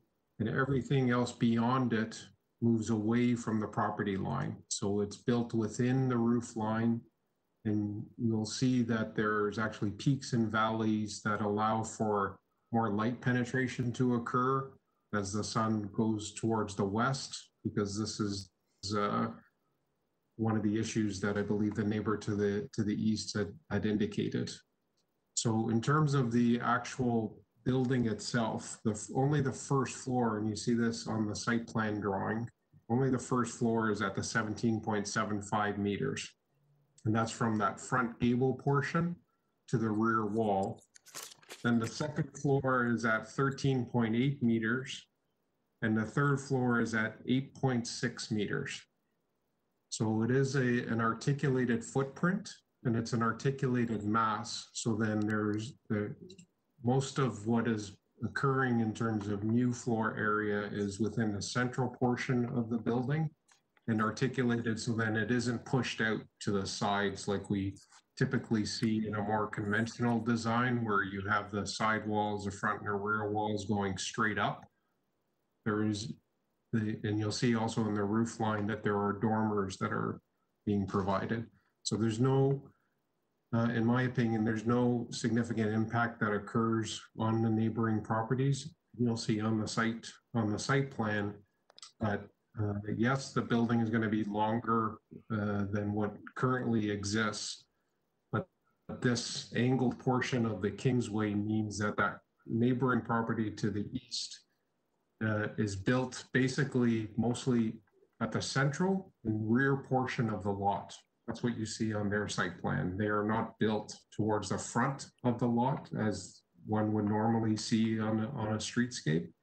And so if it if that easterly neighbor were actually built where it would line up with the front yard setback of the neighbor of, of the subject site, these buildings would be pretty much in line with one another and very similar to one another. But there, there is a situation here where one needs to expect that there's going to be some exposure and some, um, in terms of the side yard setback that's being proposed, that it's being mitigated with the, with the step backs and the articulated roof line. So I would submit that what is being proposed here in terms of lot coverage, the 8.9 square meter difference is, uh, is definitely minor. The floor space index that's being requested the, the proposal is adding about 200 square meters in floor area, and that includes some of the knee walls and that dormer. So that is also in keeping with what we see in the in the neighborhood for new generation, either new construction or building additions. And, and the side yard setbacks are existing, and I believe I've, I've uh, described how those relate to the proposal as well as the building length. So I would submit that the proposal is a sensitive design and has no unacceptable adverse impact. So you've read the letter from uh, the neighbor uh, next door at, uh, and what she's saying about this. First of all, she doesn't isn't aware of what you just explained to us, other than just listening. You didn't never met with her. Your client never met with her in terms of uh, explaining to us about the setbacks. The the owner did uh, meet with her or tried to discuss with her, but Okay. there's no resolution there. Okay. Very good. Let's uh, let's hear from her. You'll have obviously a chance to respond to her concerns, and we have. Thank you. letter. Thank you. Okay, um, Nadia Sakno. Yes, hello. Hello, welcome. Hi. Uh, well, my concern is uh, I'm living in a hundred year old house. My windows are wooden, my doors are wooden. So the house that they're proposing uh, addition is very close to my house. I'm living in a Home Smith house, and it's uh, unique. I would love to preserve it. I'm living with a four small children, and to me, it's very important that if, in case of fire, where are they gonna escape? If they can't escape in the front door, the back door is gonna be blocked by the new addition. And the other thing is the sun is on the west. And my dining room over there, you can see the picture, the window is sticking out. It's actually my dining room. And next to it, there is a family room and piano room. So my, my four children playing piano every day, and we eat lunch and breakfast and dinner in the dining room. As soon as they build three-story house right right next to mine, they, my children are going to be like a, in the basement, sitting every day, eating lunch, dinner, uh, and breakfast in a very dark, dark house. It's a three story and it's way too close. That's why the bylaw exists. So they should be obeying bylaw. And um, what else I wanted to say? Uh, it would devalue my property because it would be so close to the to the house. And my concern is his exhaust pipes. Will they come to my windows, you know, from the furnace? Okay. That, I guess all that I wanted to say that my main concern is in case of fire and a sun sunlight for my children. You probably wouldn't want your children to be in a room dark all the time. And if you look at my windows, they all Tudor windows, like they're not huge big windows. If there's a house next door built right next to those windows, it's, uh, it's there's no sunlight because my house is from the east and their house going to be uh, in the west that's when sun goes down. That's and it, even if they say three stories not too high because the sun goes down it's going down right? So it's it's going to be behind their house. Yeah. and okay. i think there's no need to be that close. Like my opinion the, the the house they're proposing is like twice bigger. There's only three people there husband and wife and a small child they don't need that huge house. They can move those one meter because that's what it is, one meter move. Okay, thank you. Uh, does anyone have any questions for the neighbor before we go back to Mr. Romano for a reply?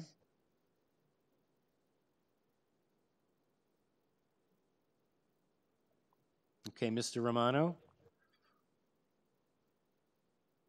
So the side yard setback uh, is what's of concern to the neighbor at 62, as you know. Yes, which is uh, the the existing east side yard setback is being uh, maintained and built with a second story addition at the back. So, so the and that obviously affects the interior layout if it were to be constructed uh, in compliance with the bylaw, which would be the 1.2 meters. So again, the way that the proposal mitigates the side yard setback condition is through that articulated mass as one rises. And you see that on that uh, supporting document where you just have the gable and the gable slopes front to back. So there's not a lot of 0.45 meters that is new that is up against that uh, on that east wall, and that's the, the lower, the lower graphic, yes, the east side elevation. So that's how it's mitigated, and everything else in between, that valley in between the two gables actually allows light penetration to occur. The, the, uh, in the backyard, which is on the left-hand side of this, of this drawing, so the back, no, no, no, sorry, on this elevation, I'm not looking to, uh, to move from this east elevation, thank you. So the gable, you know, we have the valley in between the two gables. And then on the left-hand side, the left gable also slopes from the top down. So that also allows light penetration. So that's how the, the sunlight is being maximized with this addition, keeping in mind that all what's being done is being is building to the 0.45 meters that currently exists. In terms of separation, there's actually uh, over 2.15 meters between this, the existing building, proposed building addition, and then and the dwelling to the east. So that's ample space. So there is no there is no fire issue. There is no uh, exit issue for the neighbor because the proposal is just constructing on its own property. There is no construction that's being proposed on the neighboring property that would affect their ability to egress and ingress their existing doors, etc. And also in terms of the sunlight and the issue of the side yard setback, the building height is less than what the bylaw allows. The bylaw allows nine point five meters. And this, uh, one, uh, again, the way that this floor area is being deployed is you're basically using roof space as habitable space, but it is less than nine point five meters. It is at nine point zero six meters, and that's to the ridge. So where is that located on nearest to the, the east side lot line? It's at the top of the gables. So again, there's a mitigation that's being introduced here that is, in my opinion, uh, creating less impact than what could be constructed as of right, even if you had the, well, two things. One, the existing side yard setback is allowed to be built upon, so I can go to 9.5 meters up with the existing east side yard setback of 0.45 meters and not trigger a variance. Or two, we can build a house that's a box at 1.2 meters up to 9.5 meters with wall heights that are taller than what is being proposed here. Well, I believe that the proposal is quite sensitive and it fits in with the neighboring context and is appropriate. Thank you, Mr. Romano. Is there, is this an appropriate, Sorry, given there- your there was one explanation? Sorry, there was, there was one other item. Uh, The mechanical that currently exists is not being relocated. It is on the west side of the building in the basement. So there is no new mechanical that's going to be introduced, and certainly none on the east side of the building. Okay. Sorry. Uh, Given your explanation, Mr. Romano, would this be an appropriate situation to have the approval tied to a plan for the protection of the neighbor to make sure that whatever you're getting on the side yards and the height and everything else you explained, it's articulated and it's not across the whole thing? That perhaps it should be tied to uh, a plan uh, to keep your client honest on that? And if so, what drawing would that be? Assuming community members saw fit to, in this circumstance, given your explanation, to tie it to a plan. Yes, sir. I think it would be appropriate to tie it uh, to the site plan drawing and the building elevations on file with the Committee of Adjustment. And uh, perhaps the Secretary Treasurer or the staff can confirm the date that that was received, because I don't have it handy. Okay, thank you. So let's open it up, see if there's any remaining follow-up questions from committee members for either you or the neighbor, or if we're ready to take it into committee for a, uh, a motion and a decision. Uh, I'm, I'm concerned with the 0.45 meter setback, uh, side yard setback. That's not a lot of, uh, room for maintenance of the side of that house. I know it's matching what's presently existing, um, but I'm, I'm really concerned with, uh, continuing that side yard setback at such a, a small dimension. Is that, is a question for him, or? Yeah, statement, okay. So we're taking, if there's no more questions, then let's take it in and we can have those type of comments, uh, assuming, so all the questions are done, right? No more questions. Okay, so we're in committee, so you have concern with the setback of point four. Five on the other one. Danny, I see you've just unmuted you yourself. Are you prepared to have something to weigh in with? Well, I, I, I am, but I thought that would be bothering you guys again. Sorry for the joke. Um, sometimes it's hard to understand what's going on here. Uh, no, if there's no one else talking, I, I would definitely like to weigh in. Uh, I find uh, that this uh, building is not a house, it's a sculpture.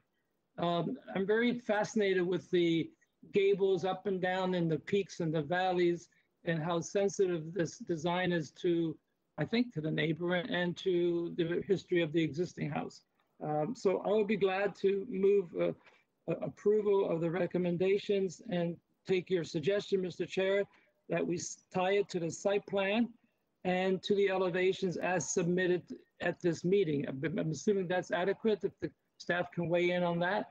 Uh, We have certain elevations in front of us and they're all dated. So whatever those dates are. Date stamped usually. We only have one set of plans on file, so So just the plans on That's the file. one, okay. Okay, thank you for that motion, Mr. Bellissimo. We have a seconder for that motion?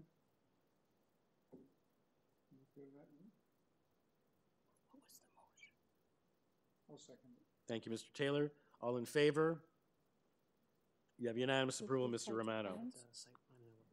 Thank you. Thank you kindly, appreciate that Thank you uh, to the neighbor. And uh, we'll move on.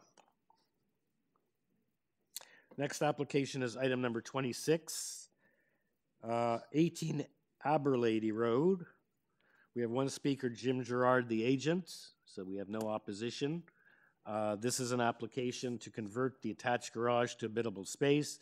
Transportation has no objection, and that's all we have. No, uh, no communication from neighbors or from other city departments other than transportation. And the agent is, as I stated, Jim Gerard. Mr. Gerard? Yes, hello, it's uh, Jim Gerard. Thank you very much, Mr. C- uh, Mr. Chair. Okay. So this is, um, you're just converting the garage to habitable space? That, that is correct, yes. Our client has some um, uh, accessibility issues that require some long-term care, and they're looking to uh, just convert the garage so it makes a little bit more habitable space on the main floor for their, for their usage. And transportation is okay that you're gonna then not park in the garage, but park in the front yard, and they're okay with that, so they've waited. That, that's correct. Okay, any questions for uh, Mr. Gerard? Are we ready for a motion?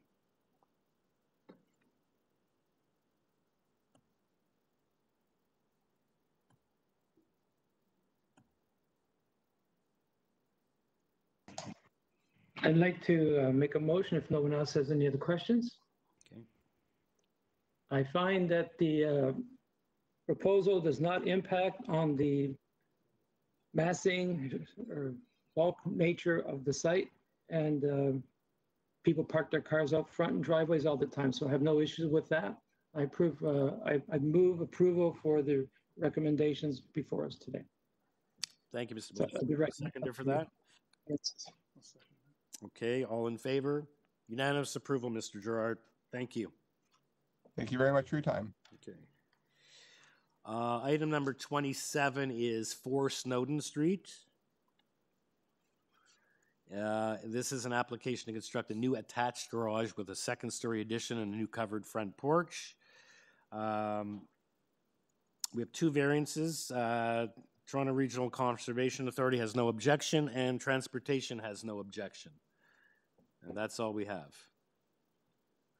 And we have registered as the speaker, Francesco Siginardo, who's the owner of the property, and he will be pres- presenting his, uh, Mr. Siginardo, are you with us? Oh, yes, I am. Good afternoon, sir. Uh, we have a couple Hello. of sketches refer- in reference. We have the Long Branch character guidelines. Uh, we have, no, I'm on- sorry, I'm on the wrong application. I'm sorry. Uh, that was number 28. Been a long- Number 27. 27, we just have the TRCA communications together with what you submitted. Um, I don't believe we need a presentation. Committee members have any questions about this, uh, this addition? The new attached garage with the addition above? And if not, is someone ready to, uh, make a motion on this?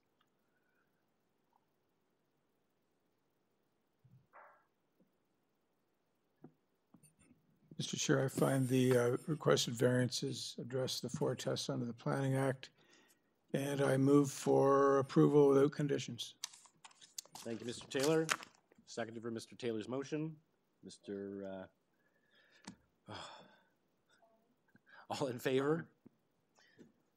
You have your approval. Thank you. Thank you so much. Have a great day, guys. Okay. Okay, this was the one I was referring to by mistake. Item 28, 29 31st Street. Uh, This is uh, an application for a detached dwelling with an attached garage with four variances. We have the Long Branch guidelines. We have support and opposition. 31 is in support, advising the property's been vacant for seven years and unkempt. Um, And planning is, is weighing in that they would like this either deferred, and if not deferred, they would like it refused. I believe we've heard from staff that the applicant or agent is, in, is uh, willing to agree to a deferral. Uh, we do have registered speakers. The agent uh, is Ida Evangelista, who I assume is with us, and we have several uh, eight, several other people registered. I don't know if they're all still with us. 34 31st Street, 31 31st Street, 21 Birchlea, 27 31st Street, and then uh, Christine Mercado representing the Long Branch Neighborhood Association. So I assume everyone's with us. Uh, let's first, we'll have to first deal with the issue of the deferral request by community planning. Mrs. Evangelista, are you with us? Uh, good afternoon, Mr. Chair. Ida Evangelista on behalf of the owners of 2931st Street. Um, I would like to put forward a deferral to allow us the opportunity to um, to meet with planning and make some changes to the application.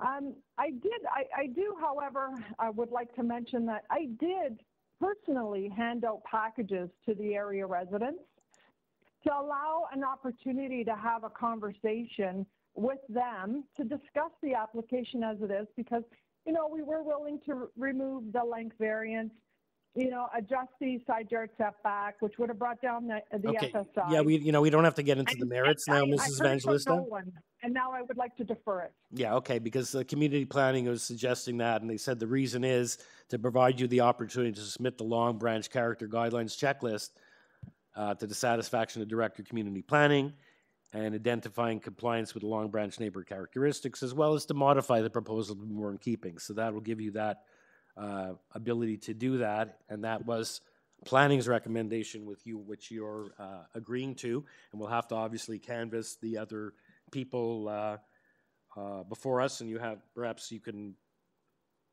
arrange some kind of a meeting once you do make the changes and complete the guideline.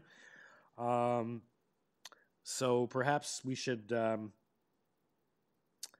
weigh in. First of all, I guess we could can hear from uh, Christine Mercado from the Long Branch Association on this issue of the deferral. We're only talking about the deferral now. Ms. Mercado, are Um, you with us? Yes, I'm still here. I'm still here. Um, as far as I, I have spoken with the neighbors um, that are here today, and we are all in agreement that uh, we do support planning's position of a deferral. Um, and if not a deferral, then a refusal.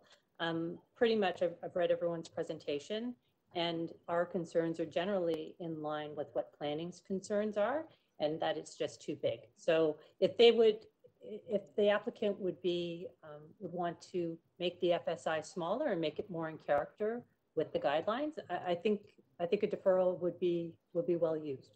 Okay, both to complete the, your, the character guideline and to discuss some changes that may be acceptable, and perhaps you can coordinate that with uh, Mrs. Evangelista in terms of the, uh, the neighbors. Uh, So do we have to weigh in and get each of these people's position on the deferral, or can you just speak on their behalf? I see we Uh, have. I can, I'm comfortable in speaking on their behalf. Yeah, I see we have both adjacent neighbors, Sandra Tully and Louise Blazik. But if you can, we don't have to canvass them all, and, you know, it looks like. uh, Uh, you know what, uh, sorry, Mr., sorry to interrupt, Mr. Chair, um, I can't, I can't speak to the neighbor of the north, I haven't spoken to her directly, so perhaps you would want to weigh in, like, we are all in agreement that something should be developed, we're just not in agreement with what, what, we're not in agreement with the application. Okay. Well, you can work with Mrs. Evangelista. She's, uh, I'm sure you've worked with her before. So, um, should we canvass all the other people? You know, it, it's going to be, it's community planning's request. Uh, Mrs. Evangelista is in favor on behalf of the applicant and Christine Mercado on behalf of the Long Branch Association. So the neighbors only have any, something to gain by this, so. I don't think we have to canvass them. So uh, on the motion, on the issue of the deferral, can I uh, get a motion? I'd like to uh, make a motion uh, for deferral uh, on the understanding that the applicant will be consulting with the local uh, community. Okay, and we'll be completing the, it's the, the the two, uh, yeah, it's set out in the planning report as the purpose. Okay, seconder for Mr. Bellissimo. I think Mr. Kaler was about to make a motion, so I'll take him as the, as the seconder. All in favor Okay, the matter's been deferred. Thank you. And just to be consistent with what I've told applicants in the morning session, uh, anything that's being deferred today at the request of the applicants is not going to be heard until February 2021 at the earliest. Okay, so like we say to everyone at the end of these, Happy New Year. Okay, number 29 is 5 Hatton Court. Uh, This is an application for a second-story addition above the existing dwelling and a new covered front porch. And there are five variances. And I believe all we have, we have copy of the bylaw. And we just have ravines. And the applicant on this application is Curtis Van Koolen from Hughes Design Studio on behalf of the, uh, as the agent. And we have the neighbor at Six Hatton Court uh, as well. Good afternoon, uh, committee members and Mr. Chair. Hello. Okay, I see we have a neighbor. Have you spoken to the neighbors or do you know um, the neighbor number six, what their concern is? No, I do not. Uh, I do know that the owners did uh, speak to a couple of the neighbors. I'm not sure if they were included in that, so I'm not too con- sure on what their concerns are. Yeah, may, they may have, I don't know, spoken to the adjacent and the ones behind, but maybe not the one in front. Um, Mhm. This is for a second story. Okay, so the, they're, they're across the street, it looks like. So perhaps, why don't we hear from them first, and you'll have a chance to respond, unless committee members have any questions at the outset before we hear from the neighbor? Or do you suggest we can hear from the neighbor and then go back? I got a Um, I guess I'm looking to, s- for staff help here. Variance one, I don't understand the uh, first sentence about maximum GFA. It Says up to a maximum FSI of 0.50 meters squared. Staff. I could explain if uh, staff is not available. Staff. Yep. Yeah, it's worded a little differently than we normally do.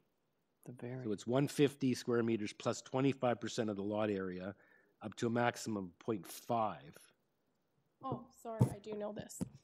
Um, because in, in ravine lots, only the table land is considered as buildable area. So only the flat portion of the land is considered as lot area. In this case, the entire lot has no tableland area due to the slope. So zoning has identified that they're allowed zero square meters. We did double check this before it went out. Because it's not tableland. Yeah, the, yeah. I could expand on that if members would Sure, go ahead, it's your application, so you tell us whatever you want to tell us. So we were uh, going through um, an application with the TRCA, obviously, um, and dealing with them. They've established a top of bank at the very back of the property. Um, the top of bank then slopes down to the backyard of this property, and when it's it's kind of a um, it's kind of a um, technicality due to the fact that the table is established behind the property and that the table then everything below is established as not buildable based on what the, the way that TRCA has uh, looked at it. So because it is behind and because the house is below, they basically said anything below the top of bank, and that's the wording that they used, and that's the wording in the regulation, anything below a top of bank. Um, but it doesn't speak to, you know, at the bottom of the slope, then obviously there are a number of structures at the bottom of this slope. Uh, and then that's where it comes into play where, you know, because it says anything below the top of bank, it doesn't also say anything beyond the toe of slope, if you know what I'm trying to say. So um, just because of the way that it's written on the TRCA side, that's why we're we're in front of you with this confusing minor variance. Mhm.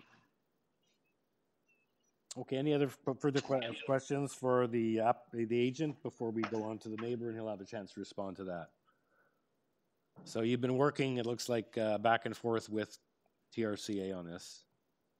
Correct. Yeah, we have a letter from TRCA basically saying that they're not uh, they're not opposed to it whatsoever, and um, they, we will be having uh, an approval issued from them. Okay. Okay, so let's hear from Mr. England from Six Hatton Court across the street. Mr. Chairman, uh, we did have Mr. England before uh, on the WebEx, but he has since disappeared. And I've checked through any of the new call-in users; none of them match hi- his phone number. So Okay. I don't think he's with us anymore. Okay, we don't have a letter from him, for we don't really uh, know what his, did, um, Mr. Van Kulen, um, did you know if you, your client spoke to any of the neighbors or?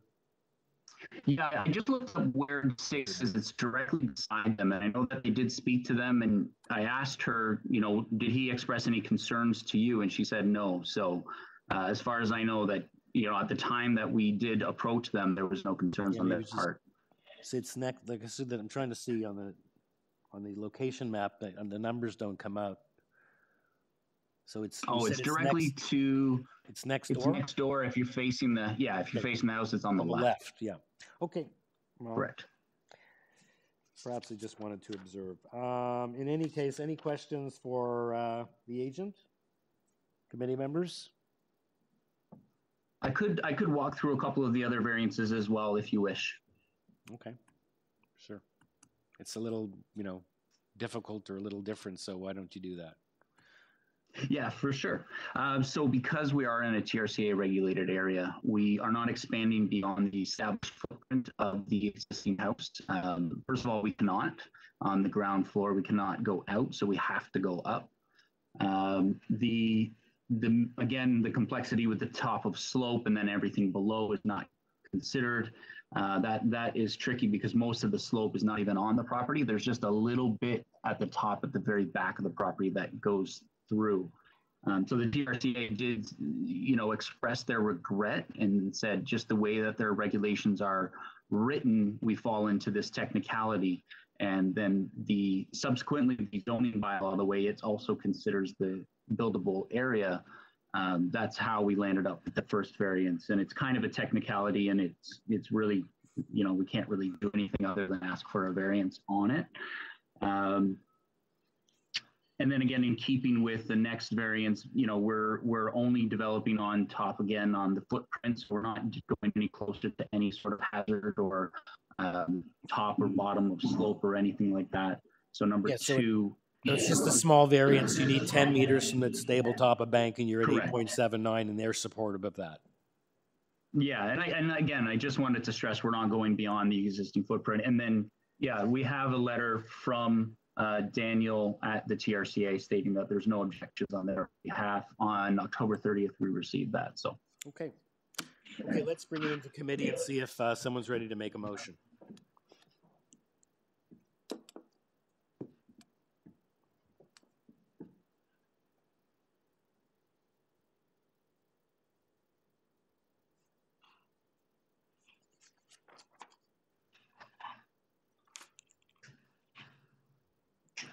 Mr. Chair, I I find the variances to be uh, in keeping with the four tests under the Planning Act.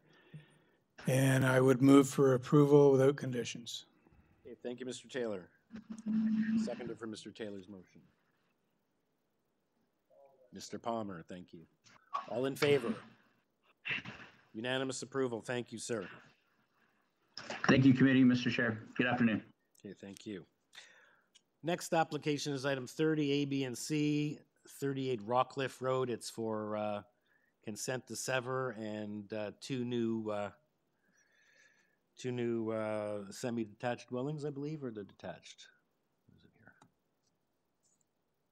It's a semi-detached. Okay, and I gotta get to the right application here. Okay, uh, we have planning recommending refusal, uh, they're basically concerned, that it appears, with the GFA, which comes in at one point two eight on each of the two semis. And planning, as I believe my notes say that they said they would, the maximum they would agree to is one point zero eight times coverage. Uh, we have forestry and, um, 11 variances on each of the two. Sorry, Mr. Chair, I just want to point out, there is a report from ECS that seems to be missing from your package. Paul's just going to bring it up. Um, Is that the standard? Yeah, they have Engineering no conditions? objections, subject to the following conditions, just a max, minimum two percent slope, maximum four percent. Hmm. Notation on the drawing about the driveways, Okay, we have, municipal road damage deposit, that kind of stuff, nothing unusual. okay, so we have planning. So, and the agent here again is Mr. Rom- We don't have anyone else spe- scheduled to speak on this other than Mr. Romano. Uh, Mr. Romano? Yes, sir. Okay, welcome back. You've seen the staff Thank you. report. They're recommending refusal um, due to the fact that the two semis you propose, uh, they claim it's overbuilding, 0.8 times coverage permitted. When you're coming in at 1.28 times the coverage a lot, they've said 1.08 is. I read that somewhere where they would uh, agree to, and then you have uh, several other variants as well, including the plat- rear platform and driveway width and a few other things. So the Right, I- main thing I- appears to be the GFA, if you would agree with me. There's also forestry conditions, so. Well, based on what you're telling me, sir, I would, I would agree. I, I haven't, I haven't seen that planning staff report. Oh, you but I will I can, but no, I, I can't, I have not, no. I don't, I don't see it on the AIC, at least when I checked this Oh, It's morning, it dated wasn't there. October, tw- so dated October twenty-first. Madam Secretary Treasurer? It's okay, I can, I can address that issue, sir, if we can go to my slides. Right. There's all, it's, you know, there's all these charts. It's actually a more comprehensive report than we normally see. Talking about the, anyway, you can read it, but, uh, planning staff are of the opinion should the proposed severance be granted, the associated variance would allow for the construction of a semi-detached building is not in keeping with the general intent and purpose of the official plan and zoning bylaw. Overall, staff are the opinion of proposed development represents an overdevelopment of the site. Planning staff have discussed the concerns, this is where I was talking earlier this morning, and requested the proposal be revised. The applicant advised that they wish to have the applicant considered as currently proposed. There was another application this morning where I thought that's what they were saying and they didn't, but it was this one. So they basically I see. saying that they went to you and they told you and you decided you wanted to come in at the 1.28 with what's before us, and not make revisions. If we can go to the slides, sir, I'll speak Yep. to the FSI firstly. Mhm. I have, uh, I think I have a two slide presentation. So the proposal is in involving uh, a site that's located on the west side of Rockcliffe Boulevard. And you'll see even on the photographs that you're, we're, we're looking at, including the subject site, there's a rise in topography from front to the back. And I'm going to go to the second slide shortly, but what you're going to see in the front is that buildings that are being uh, part of the new generation of buildings in- includes an integral garage and then two levels of living above. And that integral garage, if you look at the first photograph in the upper left-hand side, you're going to see an integral garage, and then off to the left, there's a doorway to access that dwelling with a long series of stairs leading up to the, what is actually the first floor. So under today's zoning bylaw, 569, 2013, that integral garage portion is the first floor because it is the the, the floor level that is nearest to established grade. The floor levels above the integral garage, even though they are the first and second floor, are considered the second and third floor. So then the proposed FSI of 1.28 actually includes that lower level, and I'm going to call that the basement level, even though it's considered the first floor under the zoning bylaw. And you're going to see the next door neighbor, semi-detached, has that condition. Up and down uh, Rockcliffe Boulevard, that condition manifests itself commonly in dwellings. And some of the dwellings, the garage is pushed forward, and still we have uh, first floor that is beyond that or the, uh, or the basement level. If we go to the next slide, So- slide two, please. Sorry, Mr. Romanos, if I can interrupt, uh, you're basically s- listening along. I guess the thing is the basement is being considered above, is more above ground, so it's being counted for GFA? Is that what's happening here? That's right, excluding, correct, so- excluding the basement, the, excluding the basement, which, um, s- and this is, I was gonna come to that point as soon as I pointed out one other thing, sir, and I'm gonna point out that one other thing first. Go ahead, go ahead. On the second slide, Yes. on the, on the second slide, in the lower right-hand corner, you're gonna see the rear elevation. Mm-hmm. So where is that basement or first floor where the garage and the entrance is located at the front? It's completely underground. So the first floor above the integral garage at the front, when you walk through the building and come out into the backyard, in the backyard, it's about five steps off of where the natural, natural grade is. Hmm. So So that that slopes. That, that basement, yes, it slopes from the front to the back. It slopes up. So, so that basement or first floor under the bylaw is counted as GFA. And if we don't count it as GFA, the proposal comes in at 0.88 FSI or, or less than what staff were saying would be acceptable at the one point and change if you're telling me if it was 1.28 or 1.08. So I think that the FSI, once we actually look at the numbers and see how they manifest themselves in terms of the building, it's actually responding to not only what's found in the character of the area, but what the grades are on the site. And if you look at the side elevation, it's on this second slide as well. Oh, no. Firstly, you'll see on my notation on that rear elevation that the second story platform is actually at grade, uh, it's a grade related platform at the back. You, do you see that? The grade related deck is a platform at the second story per the zoning interpretation. So that's why the zoning is saying the basement is floor number one, then two is where the deck is, and three is the actual reality second story. So when we go to the side elevation, you're gonna see that you'll see that grade. And in this south elevation, you're gonna see the grade at the front is on the right-hand side. So that's where you see the steps. And the steps are, are actually not as, not as dominant or not as many as what you find on other dwellings. And we saw those in the photographs on my first slide. You see how the grade rises?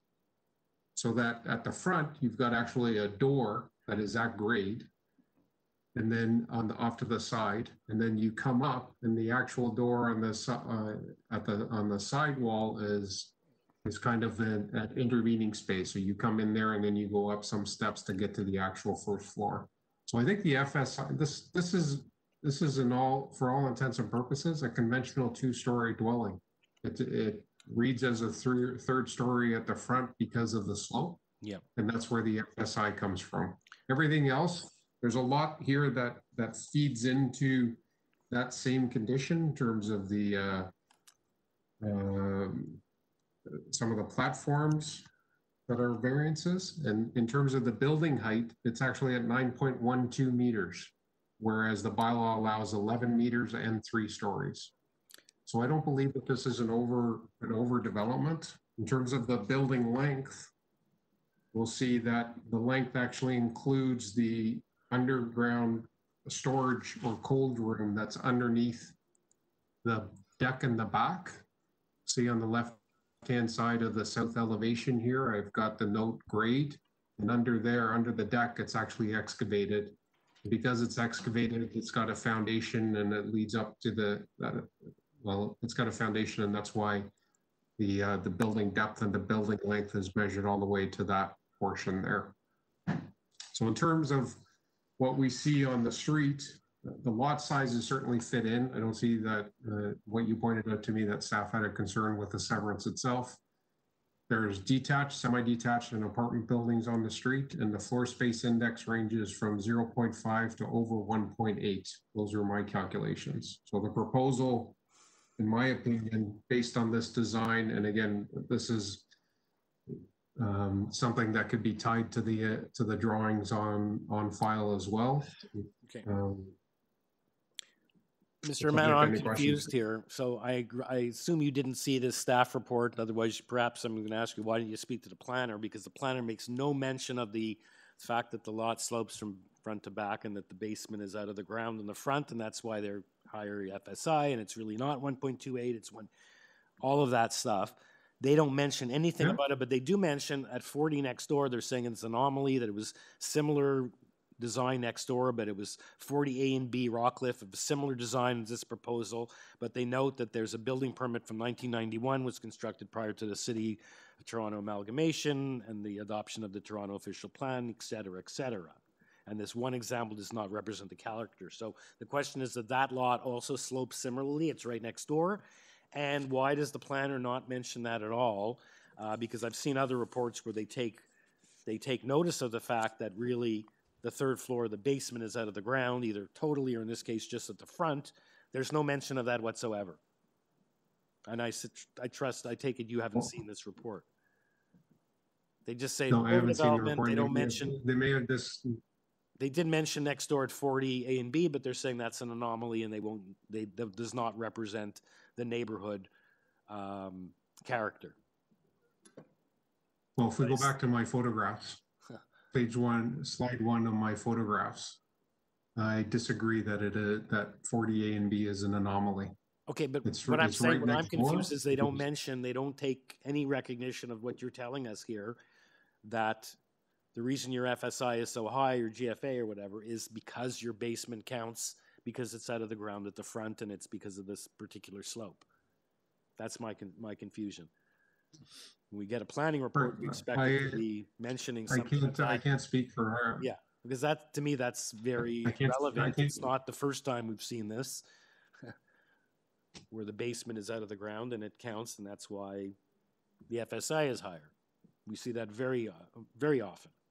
But they don't mention that here. They just say, it hasn't been, uh, research of immediate area shows FSI variances equal or less than one point zero eight times the area of the lot.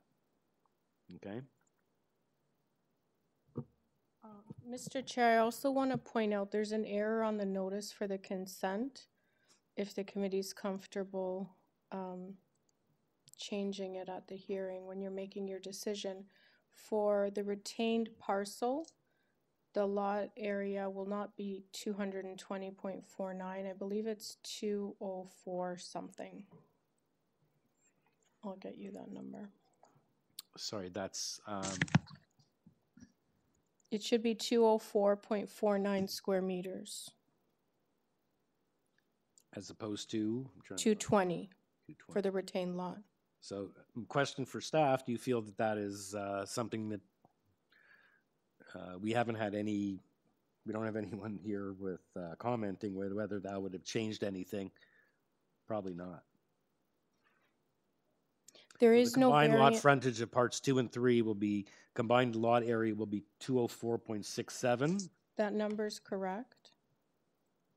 And in the, the lot, the above, uh, two twenty point four nine, is that, they're saying that one's not correct? That should be two oh four point four The nine, same as the conveyed lot. similar. Hmm.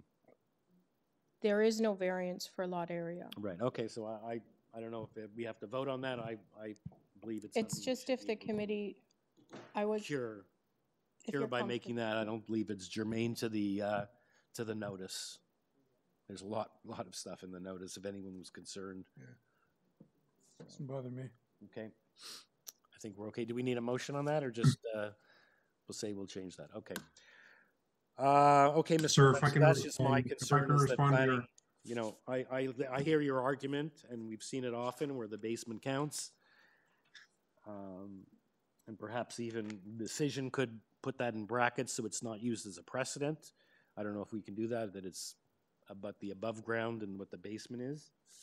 So that if someone tries to use this four years from now as a precedent, it'll be apparent that what was granted was not one point two eight, but eighty-eight plus the basement.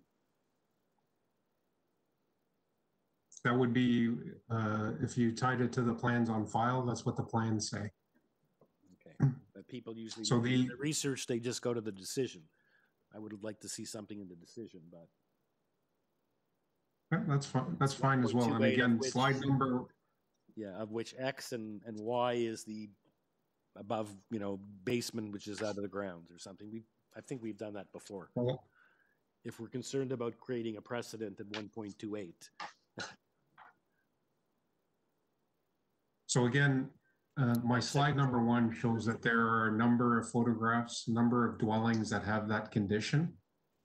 And that is what needs to be respected and reinforced when we're looking at the official plan. I don't, I don't disagree that you're gonna find uh, committees of adjustment decisions that may have different numbers, but they, they relate to buildings that were pre bylaw 569 2013 that doesn't include the basement as part of GFA because of the established grade position.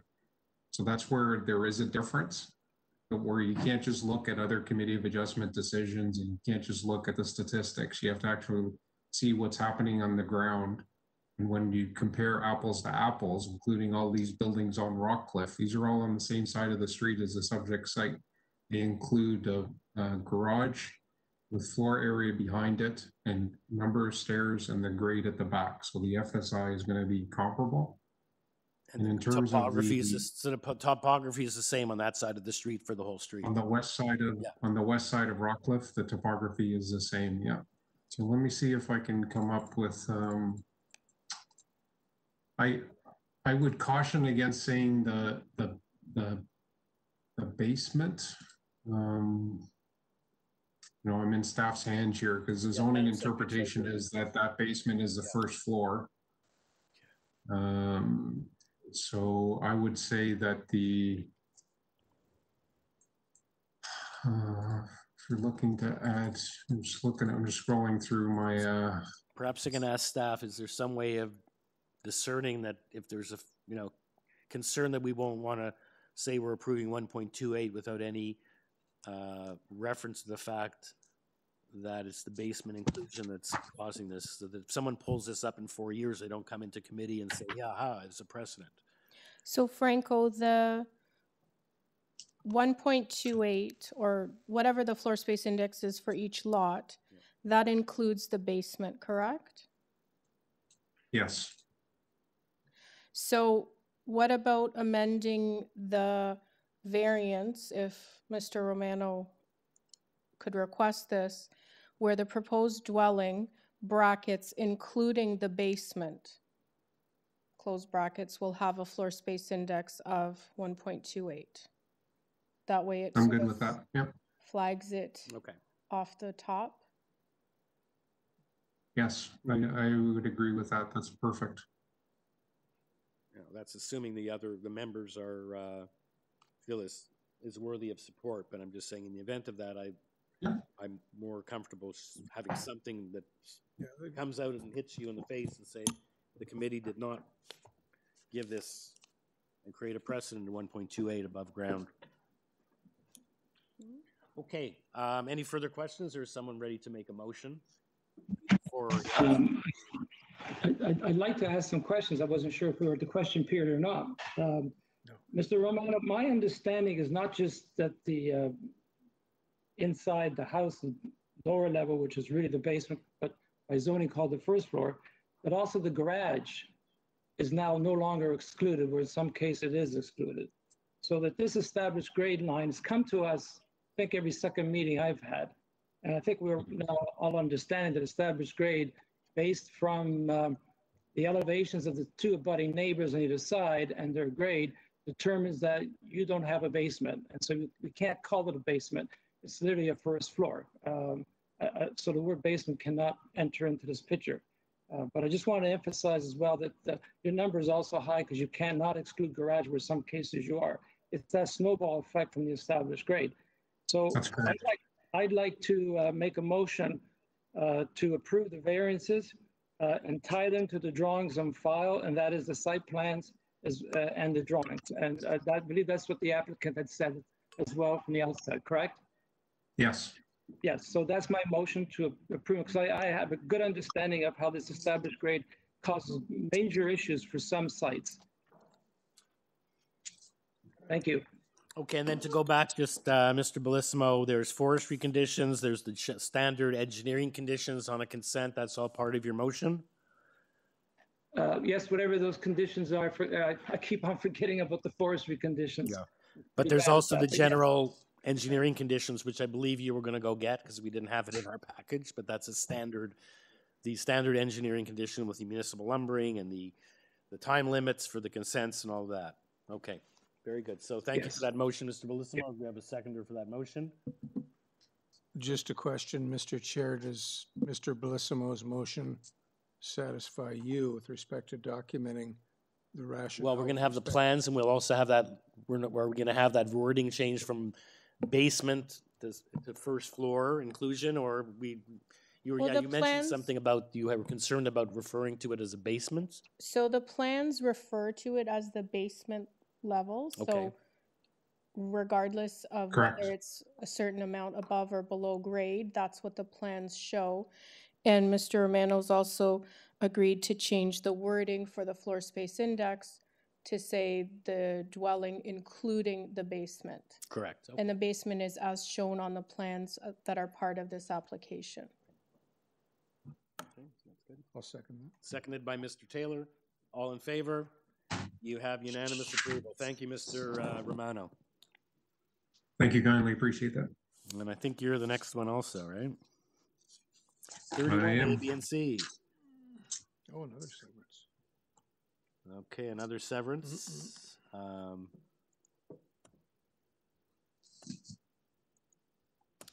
And again, no one, no one present with, uh, no neighbors.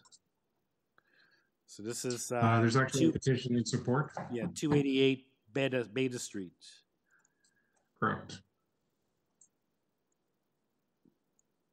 Yeah, we have presentation, we have planning, ECS, forestry, and support. Yes, we do have support on this one. We have a little petition and support.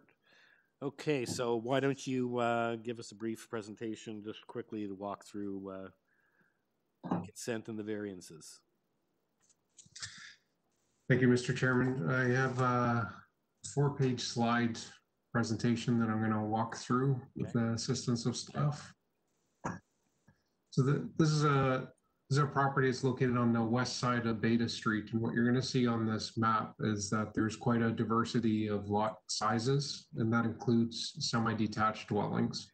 So the semi-detached dwellings are, you're going to find are the smallest lots, both in terms of frontage and in terms of lot area all the semi-detached within this neighbor, well, shouldn't say all of them, all of them on the street are less than the bylaw requirement. Within the neighborhood, ninety-nine percent of the semi-detached dwellings are smaller than the bylaw requirement. So it's quite a common occurrence to find semi-detached dwellings on smaller size lots. Six point five five meter lot frontage is actually found on Beta Street. There's four of those. And within the neighborhood, there's uh, another uh, seven or eight that are not too far away from Beta Street. But, so Beta is one of the streets that does contain semi-detached dwellings on lots of 6.55 meters. And you'll see that in my statistics as well on this page. Um, in terms of lot area, the proposal would be a lot area that is smaller than the smallest lot size on Beta Street by, but only by like three or three and a half square meters, which is an insignificant difference. So in terms of lot frontage and lot area, yes, the proposal doesn't fit within the majority of lot sizes, but there's quite a few lots that also do not fit within the majority of lot sizes. And those include detached that are 7.62 meters and smaller and semi-detached that I've already discussed. And I show that in my table as well, where even detached dwellings, 31% of them are smaller than the zoning bylaw uh, requires of 12 meter frontage and 370 square meter lot area. Yeah. So this is a neighborhood where, in the street itself, where the lot sizes are, um, there's a diverse variety. And they have dwellings of two stories, two stories above an integral garage. And if we look at the second slide where I'm showing the elevations in the site plan, you'll see that the building is pretty close to where the building length uh, is permitted. Sixteen point nine one meters is proposed, and that's less than the seventeen meters. The one side yard setback request of uh, one point, sorry, zero point nine one meters instead of uh, one point five still allows for appropriate access, and it is a common, actually, it's a common condition for semi-detached dwellings to have zero point nine and in some cases even zero point six meter side yard setback. And in terms of the elevations themselves, it is a um, ground-oriented, low-rise, low-profile two-story dwelling, and you'll see that at the bottom of slide two. So it is an integral garage and one level of living above. And the, one of the benefits of having a semi-detached dwelling is that it actually presents itself as one building Mm-hmm. as opposed to having the two detached, which helps when you're dealing with a lot frontage of six point five five meters. Yeah. And we see some of those examples in the photographs that are above. So, Mr. Romano, on this one, you have seen the staff report on this one, or you didn't see this one either? This one's I have, October no, I saw this one.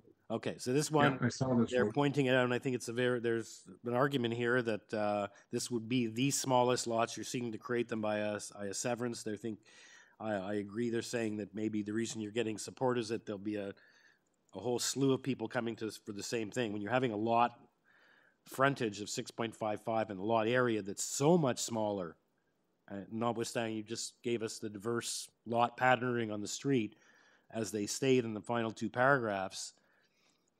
I think you have uh, to overcome that hurdle here because, as you know, you know, creating a lot is uh, more of a privilege than a right because you're seeking to create these these. It's not an existing small lot.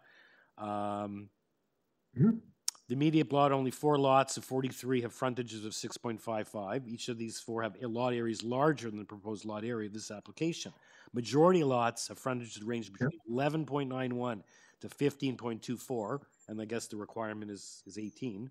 So they are undersized from what's permitted, what's and it says further lot study shows a broader context. There are no lots with frontage of 6.55, and only three out of 170 have lot have frontages smaller than 7.6.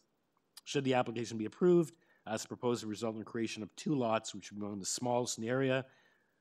Uh, so they think it's not in keeping, and then it goes on to say that they're concerned that the approval of this would weaken the established character of the neighborhood, result in applications, other applications of a similar nature. So where you have a requirement of 18 and you have most in the 12 range, you're suddenly going to have 6.55, because obviously by doing so, you build two houses where you have one, and why wouldn't any everyone want to do that?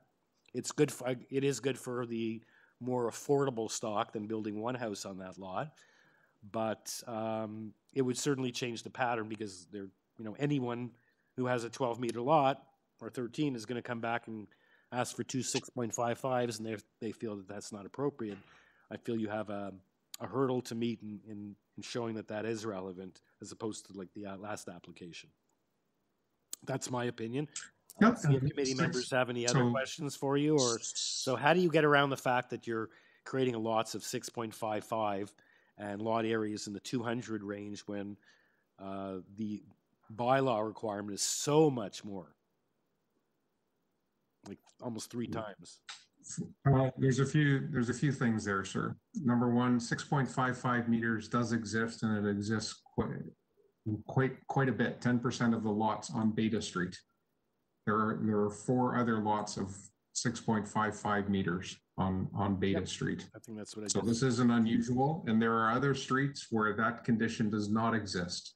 So we're not looking to create a, a precedent, because you have to deal with each application on its own merits. Yeah. But other streets may not be able to achieve that same sort of number. In terms of lot area, You would know better. the difference between what's proposed Yeah. and the two hundred and twenty-three point four square meters that is on the street is negligible.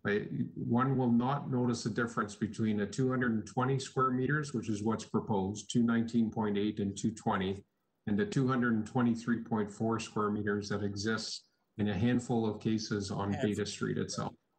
But the minimum So, lot and then in requirement is six of- In terms of, I, I agree. Sorry? I think the, the planning report does say that there are a few instances, but to create new ones by a severance, when there's only a handful out of hundred and sixty or hundred and seventy or something, That's just my, that's my opinion. So, um, thank you for that So I. So I members have I have those stati- I have those statistics as well, because the broader neighborhood actually has lots down to five point zero eight meters. Okay. So this is not unusual for this neighborhood.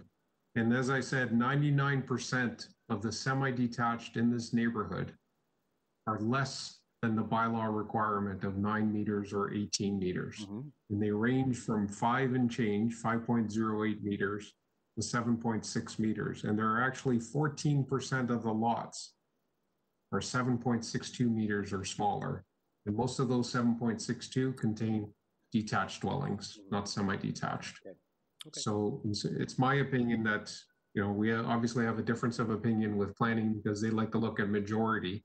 I like to look at what is actually on the ground and what is on the ground is a diverse variety to which the proposal actually contributes to. And there's nothing wrong with that. To suggest that some other lots cannot achieve that same uh, condition to respect and reinforce the variety in the neighborhood, I think is, is contrary to what the official plan is actually looking to achieve. So out of those, would you agree that there'd be a plethora of applications? People would want to do the same thing if they have to get a lot severance and uh, build build that. So uh, I I hear what planning's saying on this one. Committee members, any questions for uh, Mr. Romano? I don't know if you. Uh,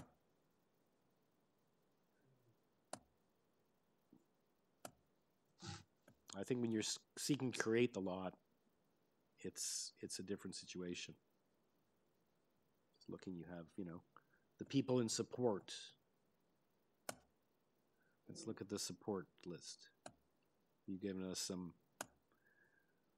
266, 264, 290, 272A, 260 artists. Any of these people, 278, two, there's a whole bunch of them. Um, just wondering how many of these people are uh, they're in favor because they want to do the same thing.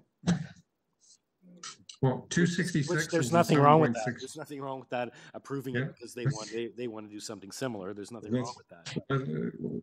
Sorry, I can walk, I can walk through them. Two sixty-six is a seven point six two meter wide lot, so they can't do it. Two sixty-four is a seven point six two meter wide lot. Two ninety is, just let me find it here.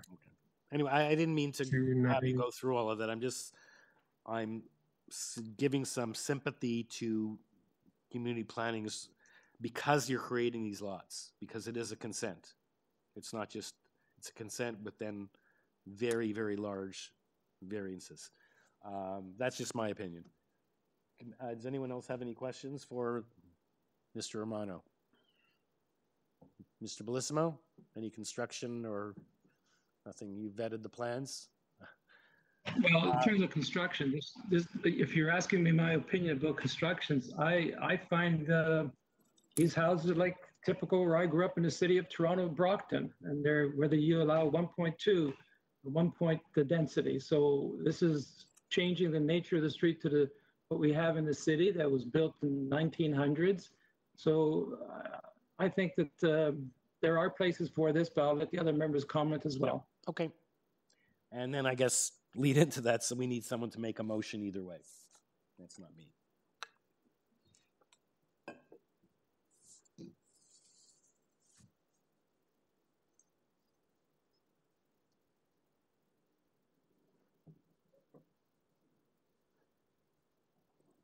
Yes, Mr. Chair, I'm kind of focusing on uh, the satellite view here, which shows the lotting pattern in the immediate context of this property. I see three building lots to the north up Devons Avenue that are the same size as the subject lot. South of the subject lot, on the west side of Beta Street, I see one, two, three, six similar sized lots. Directly across the street from this property and running south, I see five similar sized lots. So I'm not, I'm not satisfied that splitting this lot into two um, is compatible with the immediate context in this neighborhood. And my motion is to improve the consent and the minor variance applications. Okay. Re- refuse. Refuse. Okay, thank you, Mr. Taylor. Do we have a seconder for that motion?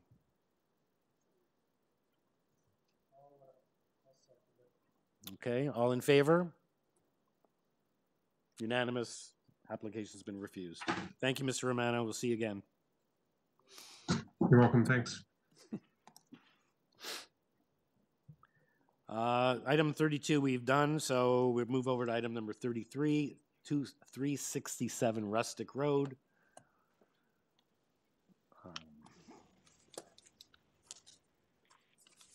Get to the right page. Uh, this is an application for a detached dwelling with an attached garage. There are five variances, cover letter. It's showing what's modified. I guess there's, this was deferred from August 13, 2020. It was deferred for changes. And so it shows, uh, the covering letter indicates what's been modified since it was last uh, before committee. Uh, Transportation condition, I assume that's still applicable. And we had previous oppos- opposition. I'm not sure whether we still have opposition or not, given the changes. We can perhaps hear from that from the agent. And the agent is uh, Michaela Silva from MS Home Design. Uh, We have registered also the next door neighbor at 265 Rustic Road. And Norman Epstein representing the neighbor at 365 Rustic Road. Okay. It's Michaela Silva. Hi, good afternoon, Mr. Chair and uh, members of the committee. Yes, uh, I am the designer and applicant for this application. Okay. Would you like a? Yeah, I think we should have a little, pre- we have some uh, people here in, uh, or in the neighbor next door. I don't know if you've spoken to the neighbor or your client has spoken to the neighbor at next door at 365, but they have, uh, they have some concerns. Um, Yes, I did. I did uh, actually have a meeting with the neighbors, uh, both adjacent neighbors, um, on site back in August. And, uh, you know, to explain, and I did explain to them uh, the variances in question. Um, and uh, after us meeting, uh, it actually resulted in me adding a variance uh, to actually variance number two. If you look at variance number two, we've added that we are requesting now a variance of 1.5 meters uh, for the side yard setback from the east side lot line, whereas our original uh, application, we did not have uh, this variance in. We only had a variance uh, for the side yard setback on the west side. uh, Yeah, there was a mix. line. That's why you had to defer in order to correctly identify the variances. I Yes. think they were reversed or something, or was referred to the wrong side? So, uh, have, you've made further changes? I said in my opening that you've, uh, you've advised as to what, uh, you've made some changes since then? Uh, we've only shifted the house itself. We haven't made any design changes. Um, Okay. What we've agreed on site was to move the house a foot to the west side so that there's a little bit more setback uh, on the on the on the east side because that was the neighbor at number 65's concern that the house was too close to her property line and so you know together with a neighbor at the on the on the west side at 369 we agreed that it was okay you know to shift the house uh, a foot over to allow more space for the neighbor so the house is you know further away Okay, so we Um, now that's have, the- we we now have the correct Mhm. variances before us, correct? So, Exactly, yes, yes. Okay. You do have the correct variances before you.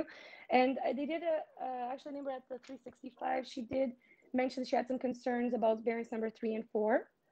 Uh, and I did explain to her that uh, variances three and four, they're old bylaw variances. Um, and the way the, the height of the dwelling is measured is from the crown of the road.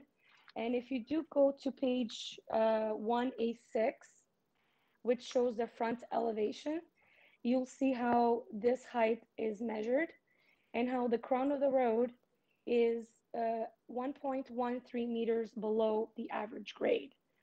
So, of course, on paper, this looks like, you know, we're asking for a 1.2 meter uh, height above what's allowed, but we actually, you know, when you actually see the house, it won't be, you know, as high as it's uh, shown on paper. So, and these two, these variances, number three and four, which is for the height, uh, actually number three uh, is for the height of the dwelling, and four is for the finished floor height, which again, is measured from the crown of the road. That's why there's a, a big um, number gap there. Um, but Is that the same thing for the variances are not first floor height? So that's both for the first floor height and the dwelling height. You're saying it's higher Yes, than it really is because of the crown of the road is lower. Be- Exactly, yeah. And these variances are not triggered under the new bylaw because we comply with them, uh, the way it's measured, because it's measured from Mm-hmm. the average grade, and we comply with those variances. It's just old bylaw, the way it it was measured. Okay, so Madam Secretary Treasurer, is the applicant is correct that the, the height, the first floor height and the dwelling height is only a, a variance under this old, this old bylaw, seventy-six twenty-five, and that bylaw is, then, I guess, hasn't fallen away because of certain appeals that are ongoing at the city, but That's- that it complies with the new bylaw, the new citywide bylaw? That's correct. The height requirements are still under appeal, which is why they're still being quoted in any of these uh, variances. Now, as to whether they comply, I don't know. She's done a waiver, so she's relying on. Okay, well, if she doesn't comply with the new bylaw, then she'll have to come back because she won't be able to get a building Mhm. permit, but. So that is, I believe, a rel- some relevance that under the new bylaw, that this bylaw should have, is only because of some technical issues that it's still before us. But that it does comply with the new That's citywide correct. bylaw. Okay, any questions for the applicant? And then we have a neighbor to, uh, we have to hear from, uh, Mr. Epstein on behalf of, uh, the neighbor next door. Um, I have a question on drawing A one. I think it's the west side of the building. There's some, I don't know. I can't tell what's on the side of that building. It looks like some brickwork or something, but it doesn't make sense that it's brickwork. Do do you see what I'm talking about? Uh, on drawing one A6? No, A, I believe it's A1 I'm looking at. A1. A1. And on the, I think it's the yes, west side yes, of the building, just below the one mm-hmm. point five mm-hmm. dimension. There's. Yes. What, what is that? Is that the roof overhang? That should be, that should have not have been there. Uh, no, A. Yes, that. Mm-hmm. A1, not A1A. Yeah. A1, the site plan. Yeah, that is the roof overhang. That's uh, beyond the, uh, that's at the back. Yeah, because at the back we have a roof over the, the first floor because the second floor recesses in, like is indented in. And that's what that roof is. Okay, that's what the, okay, I couldn't So tell it's not a wall. It's not a wall. Yeah. Okay, that, thanks for the clarification. Okay, if no one has any further questions for Ms. Silva, we'll move over to hear from Mr. Epstein on behalf of the neighbor. Sorry, um, Mr. Chairman, um, Mr. Epstein will not be uh, speaking. Um, Himela Nankumar will be speaking on her own behalf. Okay. Okay, Mrs. Nankumar, Good how are you? Good, good afternoon, Mr. Chair and member of the Committee of Adjustment. How are you? We're good. I'm good. I, um, one of our concern is, um, it's just the, the height of, of the, the, the- height of the building um, in regards to uh, the variances, and that's what we just have a concern about because it's going to be a- a higher building and we will have some, you know, the sunlight and natural uh, lighting on our property that will be taken away. But again, we're just questioning the height of the building. Okay. Uh, The applicant is just given, I you were listening, I don't know if you've met or spoken to the applicant, to your next door their neighbor about this before, but uh, below uh, grade, and therefore that's what they measure the height from, so that really the height it only technically doesn't apply. I don't know, you have, a what do you have on your property? You have a one-story brick? Uh. That's the other side. You have a one-story brick dwelling showing on this? Yes. Okay, so it's gonna be higher than, uh, than obviously than what you have. I don't know what your plans are for the future, but, uh, she is claiming that, um, you know, and if it's, she's claiming that that extra height is,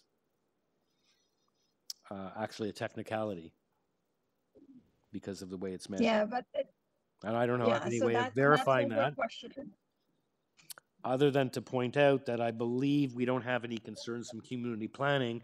And if you've been listening this afternoon, community planning, when there are often, uh, uh, have concerns with, uh, with height variances of this nature, and they haven't weighed in, so.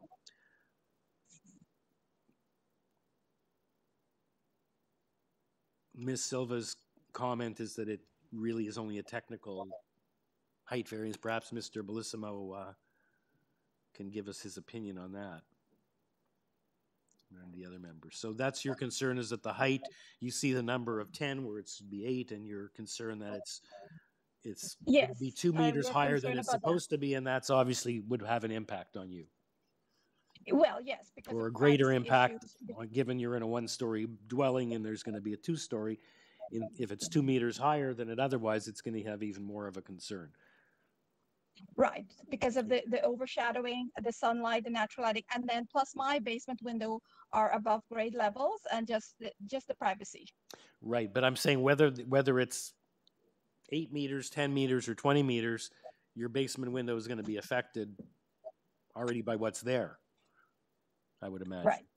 You know, but the existing, uh, whatever's there, I don't know if they, even if, if there was no height. No, there's a, the, the home is a bungalow right now. Right, so I'm saying you're gonna be impacted by the height no matter what, Right, yes. right? Because if they build, if they build it two meters lower and it was really six instead of eight because of the measurement, you're still gonna be affected. Either way. Right. It may be relevant more if you go and eventually you or some future owner of your home builds a comparable two-story home, you, you would, I assume, be able to build it to the same height. Which, uh, she's saying is just a technicality. And I'm gonna ask her actually when we finish what her internal heights are, just to make sure that the height isn't because she wants ten-foot ceilings everywhere. So perhaps we can ask that question. Any further questions Okay, for the neighbor? Well, and, and then number four will tie into, as you said, the, the, the height of the whatever ceiling she's looking at, yes. Yeah, the first floor height and the total height are obviously related. Yes, Okay, Right. so perhaps we can ask that of Miss Silva. So no one else has any questions for the neighbor? Okay, Miss Silva, um, Yes. as you know, the neighbor is concerned with the height. She's in a bungalow, so she'd be affected by the height, whether it was six meters, eight meters, or ten meters. But that's, Mhm. uh, but you're, you've advised us, in fact, this is not really, it's just a technical, um, a technical height issue. So my question is, what are your internal heights on the basement, first and ground and second floor on the house you're proposing to build? Okay, so first I'd like to, uh, to let you know that the, our proposed first floor height is, uh, the same as the existing first floor height of the existing uh, bungalow that's there. And I would like to point out that. uh, Which based On is? the survey that I was, uh, which is one fifty-two point fourteen meters Uh, can you do it in feet? ab- above, uh, above grade, um, sorry? Uh, could you tell us in, with the ceiling, internal ceiling heights in feet? Oh, sorry, yeah. Ground floor, course, basement, and uh, first, second floor. Yes, so first, uh, ground floor ceiling height is ten feet. And second floor ceiling height is nine feet. And the basement? Basement, basement is nine feet. Okay. But we're not raising our main floor, uh, height at all, like it's staying as it is based on the the, the existing dwelling that's there. And l- I would like to point out that her, her actual house, her finished first floor is a foot, 0.3 meters uh, higher than my existing height. So she's actually, her main floor is actually higher um, than my main floor as well. Yeah. Okay. But yes, of course, with the addition, with the second floor addition, I'm going to be higher than her. Uh, But, you know, You said something about the sunlight, I. You said something about existing, but Yes. this is a new build. So the existing has no relevance, correct? It has no relevance, yes, but when I was on site, I was, explaining to her that, because her concern was the height of the main floor, she you know, she said, oh, are you raising the main floor? Is that why you're proposing three meters instead of, you know, the one point five, which is what's allowed by the bylaw? And I said, no, we're actually, you know, proposing one point two meters uh, from the average grade. And I referred it to the existing height to first floor because that's exactly where the, the main floors is staying. Like, we're not raising it, you know, three meters from average grade. We're not doing that. So the issue is, uh, can you answer this question? This is very relevant. So the first floor height, you're saying she's higher than you. So is the 3.02 meter first floor height, is that consistent with the neighbor's first floor height? I think that's a very important, because you're saying Measured she's out of the ground corner also. road? Yes. Yes, she is. She is out of the ground. So your first uh, floor by height foot. proposed is gonna match what she has on her bungalow. It will match what I have, what we have currently on our bungalow. So she'll still be higher than me by a foot Okay. on her current bungalow. Okay. Yeah. So even though, I don't know what your ceiling height is in the bungalow, but even though you're gonna have a ten-foot main floor height with nine in the, in the second floor and nine in the basement, it's still gonna be lower than what she has now. So you're saying she must have ten floor Ew. height now on her bungalow? No, no, no, I don't mean that. I just mean the height of the first floor, like, will be lower than hers. So, you know, because she was talking about, you know, the house is going to be much more, much higher. It will be higher, obviously. We're do, we're doing a second story, and you know, like you mentioned, one day that she wants to develop this, if she does, or the next neighbor, the next owner, you know, they're going to do something similar because I do comply in height uh, under the new bylaw, right? Which is the actual height that's going to be built. It's it's measured by the average grade. Okay, and there is no concern from community planning. I'm just looking, there's no No, no, no. no. Okay, um, committee members, any follow-up questions for, uh, either the agent or the neighbor, uh, or are we re- we ready for a motion?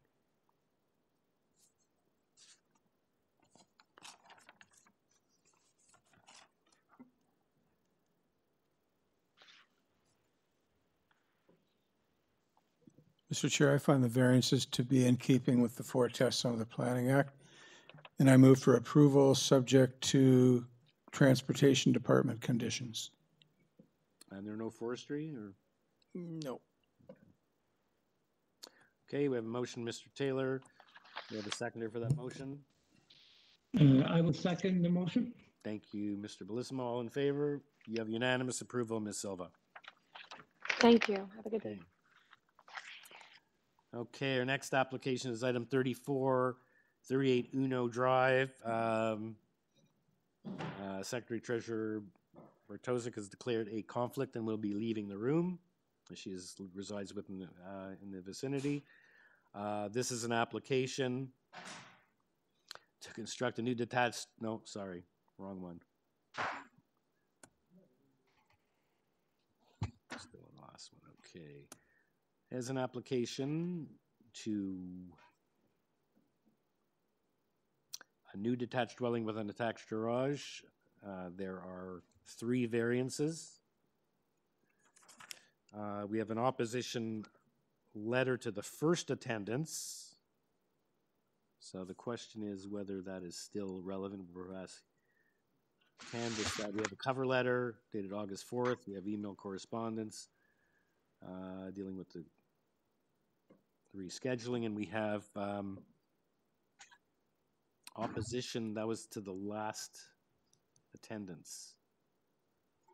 So this matter was deferred from July 30th, 2020. Okay, uh, we have on this application the uh, agent. So, Mr. Rahel Chairman, Ghazani. sorry to interrupt you. Um, Mr. Hassani will not be joining, neither will the owners of 38 Uno, Tony Pak and Hong Wei Chen. Uh, The agent to speak will be Kyle Kadra. Okay, and there's no neighbor speaking now. No neighbors. Uh, Perhaps we can a- have to ask him because there's letters of opposition. Uh, This matter was deferred on whether there are any changes. I'm just looking at this letter. Hello, Mr. Chair. Okay, so we have a new agent speaking here. Yes, Mr. Chair. I'm Kyle Kadra. I'm the agent. Okay. Um, Uh, How about if I us a brief yeah. presentation as to what happened since the uh, deferral, when this matter was before the committee, July 30th, 2020? And what has changed For since sure. then? Yes, for sure. So, so uh, uh, our clients, the owners, did meet with the neighbors and uh, uh, took their notes. Uh, there were minor changes made to the plans to address their concerns, and uh, uh, everything kind of settled that uh, they're okay with the proposal at this point. The changes that were made did not impact the variances on this application. Okay. Um, So yeah. So in haven't terms of changed, so we have all of these, I don't know what you changed, but we have, uh, there's no one here other than the na- next door neighbor who was supposed to be here. And, Mhm. uh, the question is whether. So my unders- There was a lot of opposition, I, Yeah. Um, yeah, there was some opposition and kind of some misunderstanding from the neighbors, Mr. Chair, and uh, like uh, our uh, clients did meet with uh, with them and uh, address their concerns. And afterwards, also, uh, our client did send them another cover letter with their phone number to con- contact them in case they have they still have any concerns and no one got in, got back to us which we took as confirmation that they are satisfied with the changes. Okay. Uh, committee members, any questions for the agent? Yeah, uh, just, sir, looking back at the um, July, original July 30th application. Yeah, your variances today are exactly the same. So I'm wondering what changes you did make. The variances are exactly what you applied for in He July. told us that. He said he made changes, but it didn't affect the variances. So that's my question, whether Yeah, yeah, okay, okay. Could opposition you- letters still apply, yeah. Could you, So- could you tell us what the changes were? Because they didn't affect the Yeah, maybe I can variances. give you some background on the concerns. So this property has a right of way between uh, uh, the two houses, uh, our house and the one next door. So um, this this right of way allows access to our neighbor to get to the backyard and park their vehicles. Um, and uh, when we designed this house, we made sure that we do respect this right of way, obviously, and we uh, and the neighbor also asked us to uh, set back the house a little bit more uh, because their vehicles are somewhat large. They have like a large truck that they need to park in the backyard, um, and we did respect that. And uh, and uh, this is this kind of resulted in the wider driveway variance. Um, anyhow, the neighbor also, after they reviewed the application, they noticed that we had a door on the side that leads to this right of way, and they felt that this is going to create a like a an obstacle for vehicles and privacy as well. So we removed that door. That's pretty much the change. Okay, so I do note that you were the agent at the time, so I was concerned that there's a new agent and he's gonna say he doesn't know and nothing's been, but it was deferred. You mm-hmm. requested the deferral Yeah, it was in me. order to revise the proposal to be more in keeping with the zoning bylaw and to consult with the concerned neighbors. And then two of the neighbors at thirty and, at forty and thirty-five spoke in favor of the deferral. And uh, now we see that there's, a little it's a little strange as we see that there is no change to the variances, although you've just outlined that there is a change. And we don't have anyone here other than we were supposed to have the next door neighbor, but I guess they're not available now. So anyway, that's, that's what we have before. So does anyone have any questions for the uh, agent who was the agent last time? I think that's a good thing. Um, because we don't seem to have anyone opposed at this point, a couple of months later. Okay, so other than that, is if someone's ready to make a motion. I'll uh, move for approval. Uh, Variances are minor in nature and meet the uh, four tests in the Planning Act. Uh, Move for approval subject to the uh, forestry condition requiring a city tree permit. Okay, thank you, Mr. Palmer. Uh, we have a seconder for that motion? Uh, Danny Bellissimo will second the motion. Thank you, Mr. Bellissimo. All in favor? Uh, unanimous approval. Thank you so much. Have a great night. So, Mr. Chairman, that concludes the one o'clock session. Everything after this is the three o'clock session. So I don't know if you want to take a ten minute break or anything like Sure, that. sure, and you just have to read the Yeah. verb again? Okay, so we'll come back and do thirty-five through till, through to item forty, uh, when we come back. So for for all of the uh, people who joined in to WebEx or through the telephone for the three o'clock session, so items thirty-five through to forty, uh, as I'm sure you're aware, we uh, um, got went a little bit late with the one o'clock session. Uh, we're going to take a short break and then come back in approximately ten minutes, fifteen minutes, and then I'll sound check you quickly, and then the chairperson will give the opening remarks, and we can continue with the hearing. Thank you.